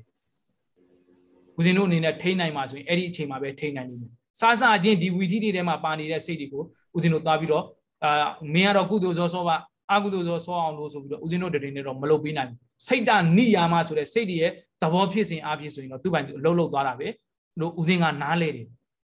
နော်ဦးဇင်းဆရာတော်ကြီးတွေမေးဘူးတဲ့ဒီဟာနဲ့ပတ်သက်ပြီးတော့ဦးဇင်းနှစ်သက်လောက်တဲ့အဖြေကိုမရဘူးလို့ဦးဇင်းလည်းလေ့လာဖို့တွေအများကြီးလိုသေးတယ်ဒီယောနီတော်မနတိကာရအာယောနီတော်မနတိကာရနဲ့ပတ်သက်ပြီးတော့နော်ဒါဦးဇင်းရဲ့နားလည်မှုဆိုရင်တော့ဦးဇင်းတို့တွေထိန်းနိုင်တာဒီမကောင်းတဲ့အာယုံတစ်ခုကိုမြင်တဲ့အခါမှာတော့နှာခေါင်းရှုပ်တာဒေါသထွက်တာတွေဖြစ်သွားမယ်အဲ့ဒါကိုသိအောင်လုပ်ဖို့ပဲရည်ကြီးတယ်နော်သိအောင်လုပ်ပြီးတော့ယောနီတော်မနတိကာရဖြစ်ပြီးတော့အာဟုသို့စိတ်မဖြစ်အောင်လုပ်ဖို့ရည်ကြီးတယ် ကိုယ့်ရဲ့တဏ္ဍာမှာအာဟုသို့စိတ်ဖြစ်နေတာကိုအာဟုသို့စိတ်ဖြစ်နေတယ်လို့သိတာကုသိုလ်လားအာကုသိုလ်လား ကုသိုလ်ပါဗျာ အကုသိုလ်เนาะအထင်မသေးနဲ့เนาะကုသိုလ်တော်မှာဝိပဿနာကုသိုလ်ဗျတတိပဒံတရားဘယ်နှပါးရှိတော့ ၄ပါးပါဗျာ ပြောကြည့်ပါဦးတတိပဒံတရား၄ပါးကြားဘူးတဲ့သူတွေ ကာယစိတ်တ နာ နာ စိတ်ဓာနုပဒနာတတိပဋ္ဌာန် ပဒနာ ဟုတ်ပြီကျန်တဲ့ကမရရင်ဒီအဲ့မှာစိတ်ဓာနုပဒနာရလိမ့်တ နော်စိတ်ဓာတ်နုပဒနာမပါဘူးလားပါပါတယ်ခင်ဗျာအဲစိတ်ဓာတ်နုပဒနာဆိုတာဘာပြောတာလဲကိုယ်စိတ်တန်တန်မှာဘာစိတ်ဖြစ်နေတာလဲသိရင်ကုသိုလ်ပဲစိတ်ဓာတ်နုပဒနာပဲလောဘစိတ်ဖြစ်တဲ့တာရာဂံဝါစိတ်တန်တာရာဂံစိတ်တန်ဒီပဇာနာဒီဟောရာဂနဲ့တကွဖြစ်သောစိတ်ဖြစ်နေတယ်ဆိုရင်ရာဂနဲ့တကွဖြစ်တယ်လို့အဲငါစိတ်ကတော့ရာဂနဲ့တကွဖြစ်နေတယ်လို့သိလိုက်တာအလားကုသိုလ်ပဲနော်အကုသိုလ်ဒေါသနဲ့တကွဖြစ်နေတဲ့စိတ်တာဒေါသံဝါစိတ်တန်တာဒေါသံစိတ်တန်ဒီပဇာနာဒီ ဒေါသနဲ့တကွဖြစ်နေတဲ့ဟေးငါစိတ်ကလေးအဲဖြစ်နေတာကိုသိလိုက်ရင်ဒါကုသိုလ်ပဲစိတ်ဓာနုပဒနာပဲအာကောင်းတဲ့စိတ်မှလားမကောင်းတဲ့စိတ်ကိုဖြစ်နေမှသိတာလားဆိုတော့မဟုတ်ဘူးကောင်းတဲ့စိတ်ကိုဖြစ်နေတာကိုလည်းကောင်းတဲ့စိတ်ဖြစ်မြန်သိနေရင်လည်းကုသိုလ်ပဲငါရဲ့စိတ်ကတော့ကုသိုလ်စိတ်ဖြစ်နေတယ်ဟေးလို့ကိုယ့်ရဲ့စိတ်ကိုသိနေအဲ့ဒါစိတ်တ ानु ပဒနာကုသိုလ်တွေထပ်ပွားနေတာပဲနားလေလားနားလည်ပါဟုတ်ပါတခါတလေမှဦးဇင်းတို့တွေကဦးဇင်း အနေနဲ့ပေါ့လေထင်ပြီးတာတချို့အကြောင်းအရာတွေကကိုကလှုပ်ယူအဲလှုပ်ယူတာမဟုတ်ဘဲနဲ့ထင်ရှားတဲ့အကြောင်းအရာတွေကြောင့်စိတ်တွေကလည်းပဲဖြစ်ပြန်သွားတာတွေရှိတတ်တယ်လို့ထင်တယ်ဒါပါတော့ခုနပြောသလိုမကောင်းတဲ့အာယုံဆဲဆိုသိတဲ့အတန်ကိုကြားနေရတဲ့အခါမှာကိုကဖြစ်သွားတဲ့စိတ်တွေဒီအကြောင်းနဲ့တိုက်ဆိုင်လို့ဒါလည်းဦးဇင်းတို့ရဲ့တန်ထဲမှာဒေါသတွေဖြစ်ရင်လည်းဖြစ်သွားမယ်ပေါ့လေအဲ့ဒီခိုက်တန်းမှာနော် ဒါပေမဲ့ဦးဇင်းတို့မပြောင်းလဲနိုင်ဘူးပြောင်းလဲနိုင်တာဘာကိုပြောင်းလဲနိုင်တယ်လဲဆိုအဲ့ဒီနောက်မှာဖြစ်ပေါ်လာမယ်ကောင်းစိတ်မကောင်းတဲ့စိတ်ကိုတော့ဦးဇင်းတို့တွေပြောင်းလဲလို့ရလိမ့်မယ်ပြောင်းလဲနိုင်လိမ့်မယ်သူတော်ကောင်းတွေလည်းဒီလိုကိုပြောင်းလဲပြီးတော့ပဲသူတော်ကောင်းဖြစ်သွားကြတာပဲအလုံးနားလဲကြလားနားလည်ပါတယ်ဗျာဒီနေရာမှာမှတ်ထားရမှာဆိုရင်ဦးဇင်းတို့ယောနိသောမနတိကာရအာယောနိသောမနတိကာရဆိုတာလည်းပဲနော်ရှေ့ရှေ့သောအကြောင်းအကြောင်းတွေနဲ့ ပေါင်းမိမှသာလျင်လို့ဒါလင်နားလည်ထားလိမ့်ပါနော်ရှေ့ရှေ့ဒါဒါဦးဇင်းရဲ့နားလည်သလိုပြောတာနော်ရှေ့ရှေ့သောအကြောင်းအကြောင်းတွေဆိုတာဗာလဲအဲသူတော်ကောင်းတရားတွေကိုမှီဝဲပါများခဲ့တယ်သူတော်ကောင်းတရားတွေကိုနာကြားတဲ့များခဲ့တယ်အထုံများခဲ့တဲ့ပုံကိုယ်တွေအတွက်ဆိုရင်နော်မြင်လာသမျှအာယုံအတွက်ဆိုရင်တော့သူတို့အတွက်နှလုံးသွင်းကောင်းမယ်ပေါ့နော်ဦးဇင်းတို့တို့ကမြင်မြင်ချင်းနှလုံးသွင်းမကောင်းနိုင်သေးဘူးဆိုရင်ထားလိုက်နော်မြင်မြင်ချင်းနှလုံးသွင်းမကောင်းနိုင်သေးဘူးဆိုရင်ထားလိုက်ပြီးတဲ့အခါမှာသိတဲ့အခါမှာ ဒါမကောင်းတဲ့စိတ်လို့သိပြီးတော့ပြင်ဖို့ပြင်နိုင်ဖို့အရေးကြီးတယ်နော်မကောင်းတဲ့စိတ်ဖြစ်နေတာဆိုတာပြင်နိုင်ဖို့အသာလင်အဲ့ဒီယောနိတော်မနတိကာရပေါ့နော်ဒုတိယအကျင့်ယောနိတော်မနတိကာရဖြစ်ဖို့ပို့ပြီးတော့အရေးကြီးတယ်လို့ဦးဇင်းကခံယူတယ်ဟုတ်ပြီဒါဆိုလို့ရှိရင်ဦးဇင်းတို့ယောနိသောမနတိကာရအာယောနိသောမနတိကာရကုသိုလ်အကုသိုလ်ဆိုနားလည်သွားပြီအနုတ္တိယခင်းရဲ့ယန္တာတူရဲ့တန်တန်မှာဆိုရင်တော့မြင်လာသမျှအာယုန်တွေကောင်းတဲ့အာယုန်ပဲမြင်မြင်မကောင်းတဲ့အာယုန်ပဲမြင်မြင် နော်ဘာအာယုန်ပဲမြင်မြင်ကုသိုလ်ဇောလည်းမစောတော့ဘူးအကုသိုလ်ဇောလည်းမစောတော့ဘူးဘာဇောပဲစောတော့မှာတော့ရိယာပြရဇောပါအဲကရိယာဇောမဟာကရိယာဇောတို့ဟတိတုပ္ပဇောတို့နော်အဲ့ဒီဇောတွေကာမဇောတွေမှာပါတဲ့ဇော၉ပါးပေါ့ဘုရားယန္တာတွေမှာဖြစ်တဲ့ဇော၉ပါးတဘာဘာဖြစ်လိမ့်မယ်ဒါဆိုရင်ဒီဇောဒီနားလည်မလားနားလည်ပါတယ်ဗျာအဲနားဟုတ်လည်ပြီပါတယ်နောက်ပြီးတော့ဇောက9ကြိမ်တိုင်အောင်ဖြစ်ပြီးသွားပြီ ဇော9ကြိမ်ဖြစ်ပြီးတဲ့နောက်မှာဆိုရင်ဦးဇင်းတို့ပုံမှန်တိုင်းဆိုရင်ဘဝင်စိတ်ကလေးတွေပြန်ဖြစ်မှာပေါ့အာယုံရဲ့အရသာခံစားပြီးဆိုတော့အိတ်ယုံရှိလို့တာပေါ့ဟုတ်တယ်မလားဟမ်အာယုံရဲ့အရသာကိုခံစားပြီးထားပါတော့အောက်အောက်အောက်မှာဝီဒီစင်နဲ့တရဥပမာဆိုတဲ့ဟာမနေ့ဖန်ကြမှာဦးဇင်းတို့တွေဆက်သွားကြမယ်နော်အဲအဲ့ဒီကြရင်တွေ့ရမယ်ဇောအာယုံကိုခံစားပြီးသွားပြီဆိုတော့အိတ်ပေါ့မအိတ်သေးဘူးတဲ့ဘာလာဘာဖြစ်သေးလဲဆိုတော့တဒါယုံဝိပတ်စိတ်ကလေးနှစ်ကြိမ်လာဖြစ်တယ်တဲ့ နော်ဇောတို့အစင်လိုက်၍ဖြစ်သောတဒါယုံဝိပတ်စိတ်ကလေးလာပြီးတော့ဖြစ်တယ်တဲ့တဒါယုံဆိုတာဘာပြောတာတော့ဦးဇင်းတို့ပကိန်းပိုင်းမှာအာယုံကြည့်ကြည့်ပါဦးဇောဤအာယုံကိုပင်အဲ့ဒီယူခြင်းအဲဇောဤအာယုံကိုပင်လိုက်၍ယူသောစိတ်နော်ဇောဤအာယုံကိုပင်လိုက်၍အာယုံပြုသောတရားဇောဤအာယုံကိုပင်လိုက်၍ခံစားသောအဲအလုတ်ဆိုပြီးတော့တရားယုံဆိုပြီးတော့ဦးဇင်းတို့ပကိန်းပိုင်းမှာသင်ခဲ့တယ်နော် ဒါကြောင့်ဇောရဲ့အာယုံကိုဇောယူခဲ့တဲ့အာယုံကိုပဲထပ်ပြီးတော့ခံစားတယ်တဲ့ခံစားတဲ့စိတ်ကလေးအဲ့လာကိုတရားယုံစိတ်ကလေးတရားယုံစိတ်ကလေးကဖြစ်တဲ့အခါမှာဘယ်နှကြိမ်ဖြစ်တာတဲ့တော့နှစ်ကြိမ်ပါဗျာအဲသူ့ရှိကဇောကဘယ်နှကြိမ်ဖြစ်ခဲ့တာတော့ခုနှစ်ကြိမ်ပါဗျာအဲဇောကသူ့ရှိမှဖြစ်တဲ့ဇောက9ကြိမ်ဖြစ်ခဲ့တာသူ့မှာကြတော့2ကြိမ်တရားယုံကဖြစ်ပြီဆိုရင်2ကြိမ်ဖြစ်ကြတယ် မဖြစ်ဘူးဆိုရင်မဖြစ်ဘဲနဲ့နေလို့ရတယ်ဇောပြီးတာနဲ့တရားယုံမဖြစ်ဘူးဆိုရင်မဖြစ်ဘဲနဲ့နေလို့ရတယ်ဖြစ်ပြီဆိုရင်တော့တရားယုံဒီဘယ်နှကြိမ်ဖြစ်ရမှာလဲဆိုရင်နှစ်ကြိမ်ဖြစ်ပြီ2ကြိမ်ဖြစ်ရမယ်တစ်ကြိမ်နဲ့ဖြစ်လို့မရဘူးတဲ့နော်တစ်ကြိမ်နဲ့ဖြစ်လို့မရဘူးအရှိကဇောကအာယုံရဲ့အရသာကိုခံစားတယ်အရှင်အဟုန်ကောင်းကောင်းနဲ့ခံစားအာယုံရဲ့အရသာကိုခံစားလာတဲ့အခါကျတော့သူ့နောက်မှာဖြစ်တဲ့စိတ်တည်လည်းပဲအရှိကဇောရဲ့အဟုန်နဲ့တိုင်းပဲဦးဇင်းတို့နှစ်ကြိမ်တော့လိုက်ပြီးတော့ ဖြစ်ရတယ်ဦးဇင်းတို့အာလေဒီပါတွေစီးဘူးကြတယ်မလားသင်္ဘောတွေပါစီးမှုတယ်မလားမစီးဘူးတော့မှစီးဘူးပါတယ်ဗျာသင်္ဘောတွေခုတ်မောင်းသွားပြီဆိုလို့ရှိရင်ဦးဇင်းတို့သင်္ဘောကြီးသွားပြီဆိုရင်အနောက်ကရေသူ့ရေရေဆန်တို့တက်တယ်ပေါ့နော်ရေဆန်တို့တက်တယ်ဆိုရင်ရေကအောက်ကိုစီးနေတယ်သင်္ဘောကအပေါ်ကိုသွားနေတယ်သင်္ဘောသွားတဲ့နောက်ကိုရေလေးတွေကမလိုက်လာဘူးလား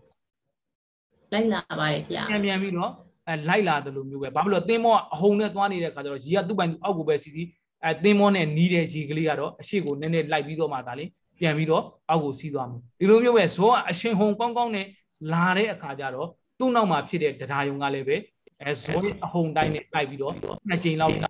လိုက်ပြီးတော့ဖြစ်ရတယ်နော်ဒါကြဇောနှစ်ကြိမ်တရားယုံနှစ်ကြိမ်ဖြစ်ပုံဟုတ်ပြီဒါဆိုလို့ရှိရင်စိတ်အစဉ်ဘယ်လောက်ထိရောက်သွားပြီလဲစိတ်အကြိမ်ကြီးအတွက် ဘယ်နှကြိမ်ဖြစ်သွားပြီလဲဆိုရင်ခုနအဟုတ်ထောတိဆိုရင်စိတ်အကြိမ်ပေါင်း၈ကြိမ်ဖြစ်သွားပြီဇောက9ကြိမ်ဖြစ်တယ်ဆိုတော့ဘယ်နှကြိမ်ရှိသွားပြီလဲ15 15ကြိမ်အဲတရားယုံကဘယ်နှကြိမ်ဖြစ်တော့နှစ်ကြိနှစ်မ်ကြိမ်မှာအဲတရားယုံ2ကြိမ်ဖြစ်သွားပြီဒါဆိုရင်ဘယ်နှကြိမ်ရှိသွားတော့အလုံးပေါင်း19ကြိမ်19ကြိမ်ဗျာ30နဲ့9ချက်ရှိသွားပြီပြန်ဆက်ဆက်မယ်နော်30နဲ့9ချက်ရှိသွားပြီရုပ်အသက်က စိတ်တခဏဘယ်လောက်တဲ့တော့19ချက်ပါဗျာရုပ်အသက်ကစိတ်တခဏ19ချက်ဦးဇင်းတို့ရဲ့မျက်စိမှာရူပါယုံလာပြီးတော့ထင်ပေါ်လာတဲ့ရုပ်လေးရဲ့အသက်ဒီရူပါယုံနဲ့စက္ခုပတ္တာရလို့ဆိုတဲ့ရုပ်အသက်လေးဒီ18ချက်ဘယ်မှာပြည့်သွားတော့တရားယုံနှစ်ကြိမ်မှာပြည့်သွားပြီဒါယုံဟုတ်ပါပြီအဲ့ဒီရူပါယုံနဲ့စက္ခုပတ္တာရယုတ်ကလေးကဦးဇင်းတို့ရဲ့စက္ခုပတ္တာရမှာလာပြီးတော့ထင်ပေါ်လာတဲ့ ရူပါယုံရဲ့စက္ခုပတ္တာရဆိုတဲ့ယုတ်တရားလေးတွေကချုပ်သွားပြီတစ်ကြိမ်ချုပ်သွားပြီတစ်ခါတည်သွားပြီပေါ့နောက်တဲ့မြင်နေတဲ့အခါဆိုလို့ရှိရင်အန်အသစ်တွေထပ်ပြီးတော့ဖြစ်တယ်ဖြစ်ပြီးတော့ချုပ်မှ10မိနစ်တွင်းမှာအကြိမ်ပေါင်း9000လောက်ကိုဖြစ်လေပြက်လေချုပ်လေဖြစ်လေချုပ်လေဖြစ်လေချုပ်လေနဲ့သွားနေမှာဟုတ်ပြီနော်ဒါကြောင့်18ကြိမ်ပြည့်သွားပြီတရားယုံဝိပတ်စိတ်တွေနှစ်ကြိမ်ဖြစ်ကဝီဒီအစဉ်လဲပဲရူပါယုံနဲ့သက္ကုပတ္တာဒာယုတို့ တို့ဤ18ချက်ရုပ်သက်စေသက်ဖြစ်အတူပြန်၍ချုပ်ပြီတဲ့ရုပ်သက်လေးလဲပြည့်သွားပြီစိတ်အစဉ်လဲပဲတရားယုံတိုင်အောင်ဆိုလို့ရှိရင်ပြည့်သွားပြီတရားယုံတိုင်အောင်ဆိုရင်18ကြိမ်ရောက်သွားခဲ့တယ်နော်ရုပ်သက်ကလည်းပဲအဲ့ဒီမှာပြည့်သွားပြီတူတူချုပ်သွားပြီအတူပြန်၍ချုပ်လေပြီတဲ့ရုပ်သက်နဲ့ရုပ်တွေတခါတည်းချုပ်သွားပြီ အဲအဲ့ဒီလိုမျိုးချုပ်ပြီးတဲ့နောက်မှာအာယုံအသစ်ထပ်ပြီးတော့မပေါ်လာဘူးဆိုရင်နော်ဂျားထဲမှာအာယုံအသစ်တွေမလာဘူးဆိုလို့ရှိရင်ဘာစိတ်တွေဖြစ်နေလဲဆိုရင်ဘဝင်စိတ်တွေကအစင်မပြတ်ဆက်ကဆက်ကထပ်ပြီးတော့နေတယ်နော်အာယုံတစ်ခုနောက်ထပ်ထားပါတော့ခုနလိုမျိုးအဒီတဘုံဘုံကဆလနာဘုံကုပိစေတာပင်စားတော်ဝဇ္ဇစက္ကုဝိညာဉ်တို့ထပ်ပြီးတော့မဖြစ်လာနိုင်သေးဘူးဆိုရင်ဘာစိတ်တွေလာမှာလဲ ဝင်စိတ်တွေလာပါလေ အဲဘဝင်စိတ်တွေလာမယ်အာယုံအသစ်တစ်ခုထပ်တော်ထပ်ပေါ်လာပြီဆိုရင်တော့ဘဝင်စိတ်တွေရက်နာပင်စားတော်ဝဇ္ဇတို့တံပရိဆိုင်တန်တိရဏဟိုတော့ဇောဒရာယုံစိတ်တွေပြန်ဖြစ်ဒီလိုမျိုးသားမှာပဲဒါကပင်စားတော်ရာအတွက်ဟောတခါဒီကျရင်ဦးဇင်းတို့မြင်ပြီးတဲ့အာယုံကိုပြန်ပြီးတော့စဉ်းစားတာတွေမရှိဘူးလား ရှိ ရှိ ပါ ပါတယ် အာမြင်နေတဲ့အခိုက်အတန့်လေးတစ်စက္ကန့်လေးကိုမြင်နေတဲ့အခိုက်အတန့်မှာပဲဒီလိုမျိုးเนาะအစိတ်အစင်တန်းက9000လောက်ဖြစ်သွားပြီးတော့ နောက်တဲ့တစ်စက္ကန့်မှာပဲငါမြင်ခဲ့တဲ့အာယုံဦးဇင်းတို့စဉ်းစားနိုင်တယ်ဆိုရင်စက္ကန့်20 30လောက်မှရမယ်ထင်တယ်နော်အကိုမြင်ခဲ့တဲ့အာယုံကိုပြန်ပြီးတော့စဉ်းစားငါမြင်လေးတဲ့အာယုံကအဖြူလားအဝါလားအပြာလားအနီလားအပြစသည်အပြကောင်းတဲ့အာယုံလားမကောင်းဘူးလားနော်ဟာငါ့ကိုဘာပြောနေတာတော့ဒီတန်ကဘာတန်လဲစသည်အပြဦးဇင်းတို့တွေထုံဖြတ်ရမယ်နော်စဉ်းစဉ်းကြရမှာပေါ့ပြန်ပြီးတော့စဉ်းစားတယ်ဆိုရင်မနောဒွါရမှာဝီထိတွေလာပြီးတော့ထင်လို့မှာပဲနော်ဒါက38ချက်ဖြစ်သွားပြီ မြင်တဲ့အခိုက်တန်တစ်ခိုက်တန်လေး10မိနစ်အတွင်းမှာဒီ18ခါ18ခုတစ်ခါတည်းဖြစ်တာမဟုတ်ဘူးเนาะဆက်ကဆက်ကဆက်ကဆက်ကဖြစ်နေတာเนาะဟုတ်တယ်မလားဆက်ကဆက်ကဖြစ်နေတာဒါပေမဲ့ဦးဇင်းတို့တွေအနေနဲ့ဆိုလို့ရှိရင်တော့မြင်တာနဲ့တပြိုင်နက်အဖြူနီပြာဝါစသည်အပြင်တန်းပြီးတော့တီးလိုက်တယ်ဒီစိတ်အစဉ်တန်းမှာအဖြူနီပြာဝါမပါသေးဘူး နော်အဖြူနီပြားဝမသိနိုင်သေးဘူးโอเคဒီလောက်ဆိုရင်ဒီနေ့ဒီနာဒီနာမှာပဲနားကြရအောင်ဒါကစိတ်တွေရဲ့10မိနစ် လက်ဖြောက်တစ်ချက်တွင်းတွင်းမှာကိုစိတ်တွေအလုတ်သူ့အလုတ်သူ့လုတ်သွားတာလေးတွေဦးဇင်းတို့နားလည်သွားပြီနော်အခုစာသင်နေတဲ့အခါမှာလည်းပဲဟောစာသင်နေတဲ့အခါမှာလည်းပြောတာကိုလည်းကြားနေရတယ်ကြားတဲ့အခါကျတော့သောတာဝိညာဉ်စိတ်တွေဖြစ်မယ်သောတာဝိညာဉ်စိတ်တွေကလည်းဒီတိုင်းပဲဒီတာဘုံဘုံကဆလနာဘုံမှုပိစိတာပင်သောတာဝဇ္ဇစကုဝိညာဉ်တံပရိသံတတိရဏဟုတ်တော့ဇောခုနှစ်ချင်းတရားယုံနှစ်ချင်းဦးစင်းကပြောလီကြားလီကြားလီကြားလီအဲ့အဲ့အဲ့ဒီစိတ်၁၈ချက်ကထက်ကထက်ကဖြစ်နေတယ် ပြောနေတာကိုလည်းမြင်လဲမြင်နေရတယ်ဆိုတော့မြင်သည့်စိတ်တွေလည်းမဖြစ်ဘူးလားဟမ်မြင်စိတ်တွေလည်းမဖြစ်ဘူးလားဖြစ်ပါတယ်ဗျာဗျာဟာမြင်စိတ်တွေလည်းဖြစ်တာပဲအဒီတာဘုံဘုံငါဇလနာဘုံကုပိစိတာပင်စားတော်ရာဝန်စက္ခုဝိညာဉ်မြင်တဲ့စိတ်တွေဖြစ်နေတယ်အဲ့ဒီဒီမှာအခုလိုပြောနေတဲ့အချိန်မှာဘေးနာအမွှေးတိုင်တွေမှုေးတာတို့အမွှေးတိုင်တွေထွန်းတာတို့နော်အမိုက်တွေမီးရှို့တာတို့ကော်တွေမီးရှို့တာတို့ဆိုရင် လာပြီးတော့အနံ့ရလာပြီဆိုရင်လည်းပဲဂါနဝိညာဉ်စိတ်အစဉ်တန်းတွေမဖြစ်ဘူးလားဖြစ်ပါတယ်ဗျာအဲ့လားလေးကိုပဲကြည့်လိုက်နော်မြင်တဲ့ခါကျတော့မြင်သည့်စိတ်တွေဖြစ်တယ်ကြားတဲ့ခါကျတော့ကြားသည့်စိတ်တွေဖြစ်တယ်နော်နန်းရှူတဲ့ခိုက်တန့်လေးမှာတစ်ချိန်လေးမှာပဲအဲ့ဒီစိတ်တွေကအများကြီးပဲ10မိနစ်တွင်းမှာမျိုးစုံဖြစ်နိုင်တယ်ရုပ်မြင်တန်းညာ TV ကြည့်တယ်ဆိုပါတော့ TV ကြည့်တယ်ဆိုရင်အတန်လဲတစ်ခါတည်းကြားနေရတယ်ရုပ်လဲတစ်ခါတည်းမြင်နေရတယ်ဦးဇင်းတို့သိတာတော့မြင်တဲ့စိတ်နဲ့ကြားတဲ့စိတ် နှစ်ခုဖြစ်တယ်လို့သိတာဒါပေမဲ့မြင်တဲ့စိတ်ကြားတဲ့စိတ်နှစ်ခုတည်းမကဘူးရှေ့ကဒီတာဘုံဝေးတွေဘုံကဆလနာတွေဘုံကုပေစေတာတွေဟောအာယုံကိုဆင်ကျင်တတ်တဲ့ပင်စားတော်ရာဝဆန်းတွေအာယုံကိုလက်ခံတတ်တဲ့တံပိဆိုင်တို့စုံစမ်းတတ်တဲ့တန်တီရဏတို့ဆုံးဖြတ်တဲ့ဟုတ်ထောတို့အာယုံရဲ့အရသာကိုခံစားတဲ့ဇောတို့အာယုံရဲ့ဇောရဲ့အာယုံကိုလိုက်ပြီးတော့ယူတဲ့တရားယုံတို့အစဉ်တိုင်းတွေကဆက်ကဆက်ကစကုဝိညာဉ်အတွက်လည်းဖြစ်မယ်မြင်တဲ့အာယုံအတွက်လည်းဖြစ်မယ်ကြားတဲ့အတန်အတွက်လည်းမဖြစ်နေဘူးလားဖြစ်နေပါဗျာဖြစ်နေတယ် အတန်တစ်ခုကိုကြားတာနဲ့ပဲပတ်သက်ပြီးတော့ပဲဦးဇင်းတို့တွေရဲ့တန်တန်မှာတစ်စက္ကန့်လေးတွင်းမှာကိုဒီအတန်ကဘာအတန်လဲဆိုတာသိသွားတယ်နော်အော်ထားပါတော့လမ်းလမ်းဘေးမှာကားမောင်းသွားတယ်ပေါ့လေကားဟွန်းတီးတန်ကြားလိုက်တယ်ပေါ့ကားမောင်းတန်ကားဖြတ်မောင်းသွားတဲ့အတန်ကိုကြားလိုက်တာ ਨੇ ဦးဇင်းတို့တွေဒါကားတန်ပဲလို့ဒါတိုင်းမသိဘူးလားသိပါတယ်ဗျာအဲ့နော်သူမောင်းသွားတဲ့ဝေါဆိုတဲ့အတန်ကိုကားတန်လို့ဒါတိုင်းသိလေတယ်ဒါပေမဲ့စိတ်တွေရဲ့သဘောတရားဆိုလို့ရှိရင်တော့ဒါတိုင်းမသိသေးဘူး သူအလုတ်အလုတ်အလုတ်အလုတ်အစိတ်အစိတ်စိတ်စိတ်နဲ့ဦးဇင်းတို့လှုပ်သွားရနော်အစိတ်အစိတ်စိတ်နဲ့သူ့လုပ်ငန်းပေါ့ဒါမှတော့မနောဒရာဝဇန်ဒီဘာလှုပ်လှုပ်တယ်အာသောတာဝิญဉ်ဒီဘာလှုပ်တယ်အလုတ်အလုတ်တွေအလုတ်တွေတိလှုပ်ပြီးသွားတော့မှဟောဒီဟာကတော့ကားတန်ဆိုတာစိတ်ရဲ့သဘောတရားပြီးဓမ္မရဲ့သဘောတရားသိရတာဒါပေမဲ့ဦးဇင်းတို့တွေကားသွားပြီဆိုရင်ဖြတ်သွားပြီဆိုလို့ရှိရင်ကားတန်ကြားလိုက်တာနဲ့တပြိုင်နက်ဒါကားအတန်လို့ဒီတစ်ခုတည်းတင်သိတာမဟုတ်ဘူး ဒီကားအတန်ကတော့မြန်မြန်မောင်းသွားတဲ့ကားအတန်ဆိုတာလေဦးဇင်းတို့တန်းပြီးတော့မသိဘူးလားသိပါတယ်ဗျာနော်ကားနော်မြန်မြန်မောင်းသွားတဲ့ကားအတန်လို့ဆိုတာလေတန်းပြီးတော့သိမယ်ကားကြောင်ကျွမ်းကျင်တဲ့ပုံကိုယ်တွေဆိုရင်ဒါကတော့ link cruiser မောင်းသွားတဲ့အတန်အော်ဘာကားမောင်းသွားတဲ့အတန်ဆိုပြီးတော့တန်းပြီးတော့သိနိုင်ကြမယ်ထင်တယ်အဲ့ဒီအတန်လေးကိုကြားလေးတဲ့အခိုက်တန့်လေးပါပဲဒါပေမဲ့အဲ့ဒီအချိန်မှာစိတ်တွေကဝုံဝုံဝုံဝုံနဲ့အလုတ်လုတ်သွားတာ တစ်စက္ကန့်လေးတွင်မှာဂရေတသိန်းလောက်စိတ်ပေါင်းဖြစ်ပြီးတော့အလုတ်လုတ်သွားတယ်နော်ဦးဇင်းတို့ဂရေတသိန်းဖြစ်ဖို့ရန်အတွက်ဂရေတသိန်းဖြစ်တာကိုဦးဇင်းတို့တွေနဲ့လုံးဝဘလို့မှလိုက်ပြီးတော့ရှာနိုင်ကြမှာမရှိအခုလိုဥပမာလေးတွေပြောလိုက်တဲ့အခါကျတော့ကားတန်ကိုကြားလိုက်တာနဲ့တပြိုင်နက်နော်ကားတန်ဆိုတာလည်းသိလိုက်တယ်ဒါကဟိုဖြည်းဖြည်းမောင်းသွားတဲ့ကားအတန်လားမြန်မြန်မောင်းသွားတဲ့ကားတန်လားဘာအမျိုးအစားကားရဲ့အတန်ဆိုတာလည်းဦးဇင်းတို့တွေတခါတည်းဆုံးဖြတ်ပြီးတော့ သိလိုက်တယ်အဲ့ဒီလိုသိဖို့အတွက်စိတ်တွေစိတ်တွေကအကုန်လုံးအလုပ်တွေသူ့ဆိုင်ရာဆိုင်ရာအလုပ်တွေလုပ်ပြီးမှဒါလည်းဦးဇင်းတို့တွေပြီးခွင့်ရကြတာ မှန်ပါဗျာ ဟုတ်ပြီဒါဆိုရင်ဦးဇင်းတို့နော်ဒီဟာလေးတွေပြန်ပြီးတော့ကြည်လာခဲ့မယ်ဒီနေ့သင်တာနဲ့ပတ်သက်ပြီးတော့အချင်းချုပ်ပြောရမယ်ဆိုလို့ရှိရင်ဒါကမြင်တဲ့အခါပင်စတော်ရမှာဖြစ်တဲ့စိတ်တွေရဲ့အစဉ်တန်ပင်စတော်ရဆိုတာမျက်စိနားနှာလျှာကိုယ်ဆိုတဲ့နော်ဒီ द्वार ၅ပါးကနေပြီးတော့ ဖြစ်ပေါ်လာတဲ့စိတ်တွေမြင်စရာအာယုန်တွေမြင်လာတဲ့အခါမှာကြားစရာအာယုန်တွေကြားလာတဲ့အခါမှာစသည်အဖြစ်ဖြစ်လာတဲ့စိတ်အစဉ်တွေနော်ဒါကဘယ်လောက်ထိတောင်ဖြစ်နိုင်တယ်လဲဆိုရင်ဒီလိုစိတ်အစဉ်တွေက10မိနစ်10စက္ကန့်တွင်မှာအချိန်ပေါင်းများစွာဖြစ်နိုင်တယ်ဆိုတာဒါလေးဦးဇင်းတို့သိထားရမယ်ဟုတ်ပြီဒါဆိုရင်ဒီနေ့သင်ခန်းစာဒီမှာပဲနားပါပြီ။အဲမေးစရာရှိရင်မေးလို့ရပါတယ်။ချိန်လေးလဲလွန်နေတဲ့ခါကျတော့တက်တက်လက်လက်လေးမေးကြမယ်နော်မေးမယ်ဆိုရင်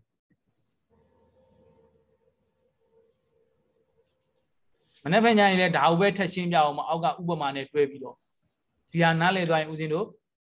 ပင်စားတော်တာဝီထီတွေအကုန်လုံးနားလည်မယ်ဟုတ်ပြီဗာမေးစရာရှိကြသေးတော့ချိန်နေလည်းလုံနေကြပြီဆိုတော့ရှိရောပါဗျာမေးစရာရှိရင်တော့အာမနာနဲ့နော်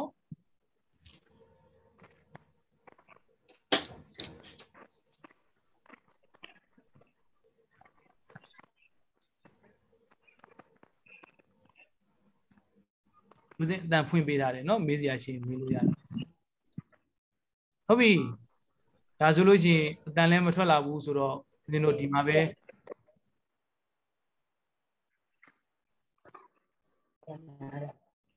အဲဆိုရင်ဦးဇင်းတို့ဒီမှာပဲနားကြရအောင်တင်ပါဗျာအဲဟုတ်ပြီအဲလုံးစုံသောတတ္တဝါတွေကျမ်းမာကြပါစေချမ်းသာကြပါစေဘေးပြားတွေဝေးကွာကြပါစေဆိုတဲ့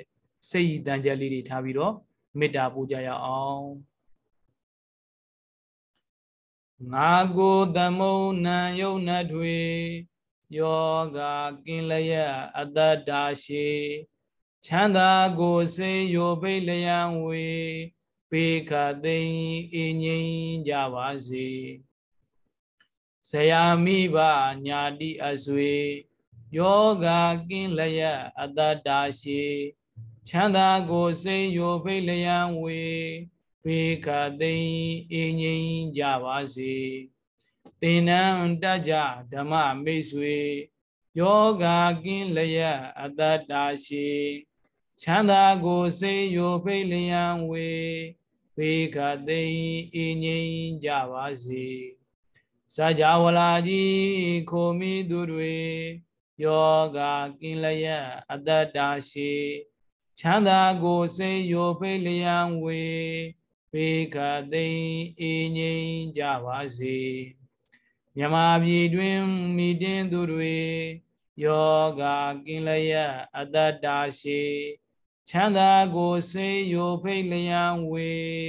ဘေခသိအင်းငိမ့်ကြပါစေသာဓုသာဓုသာ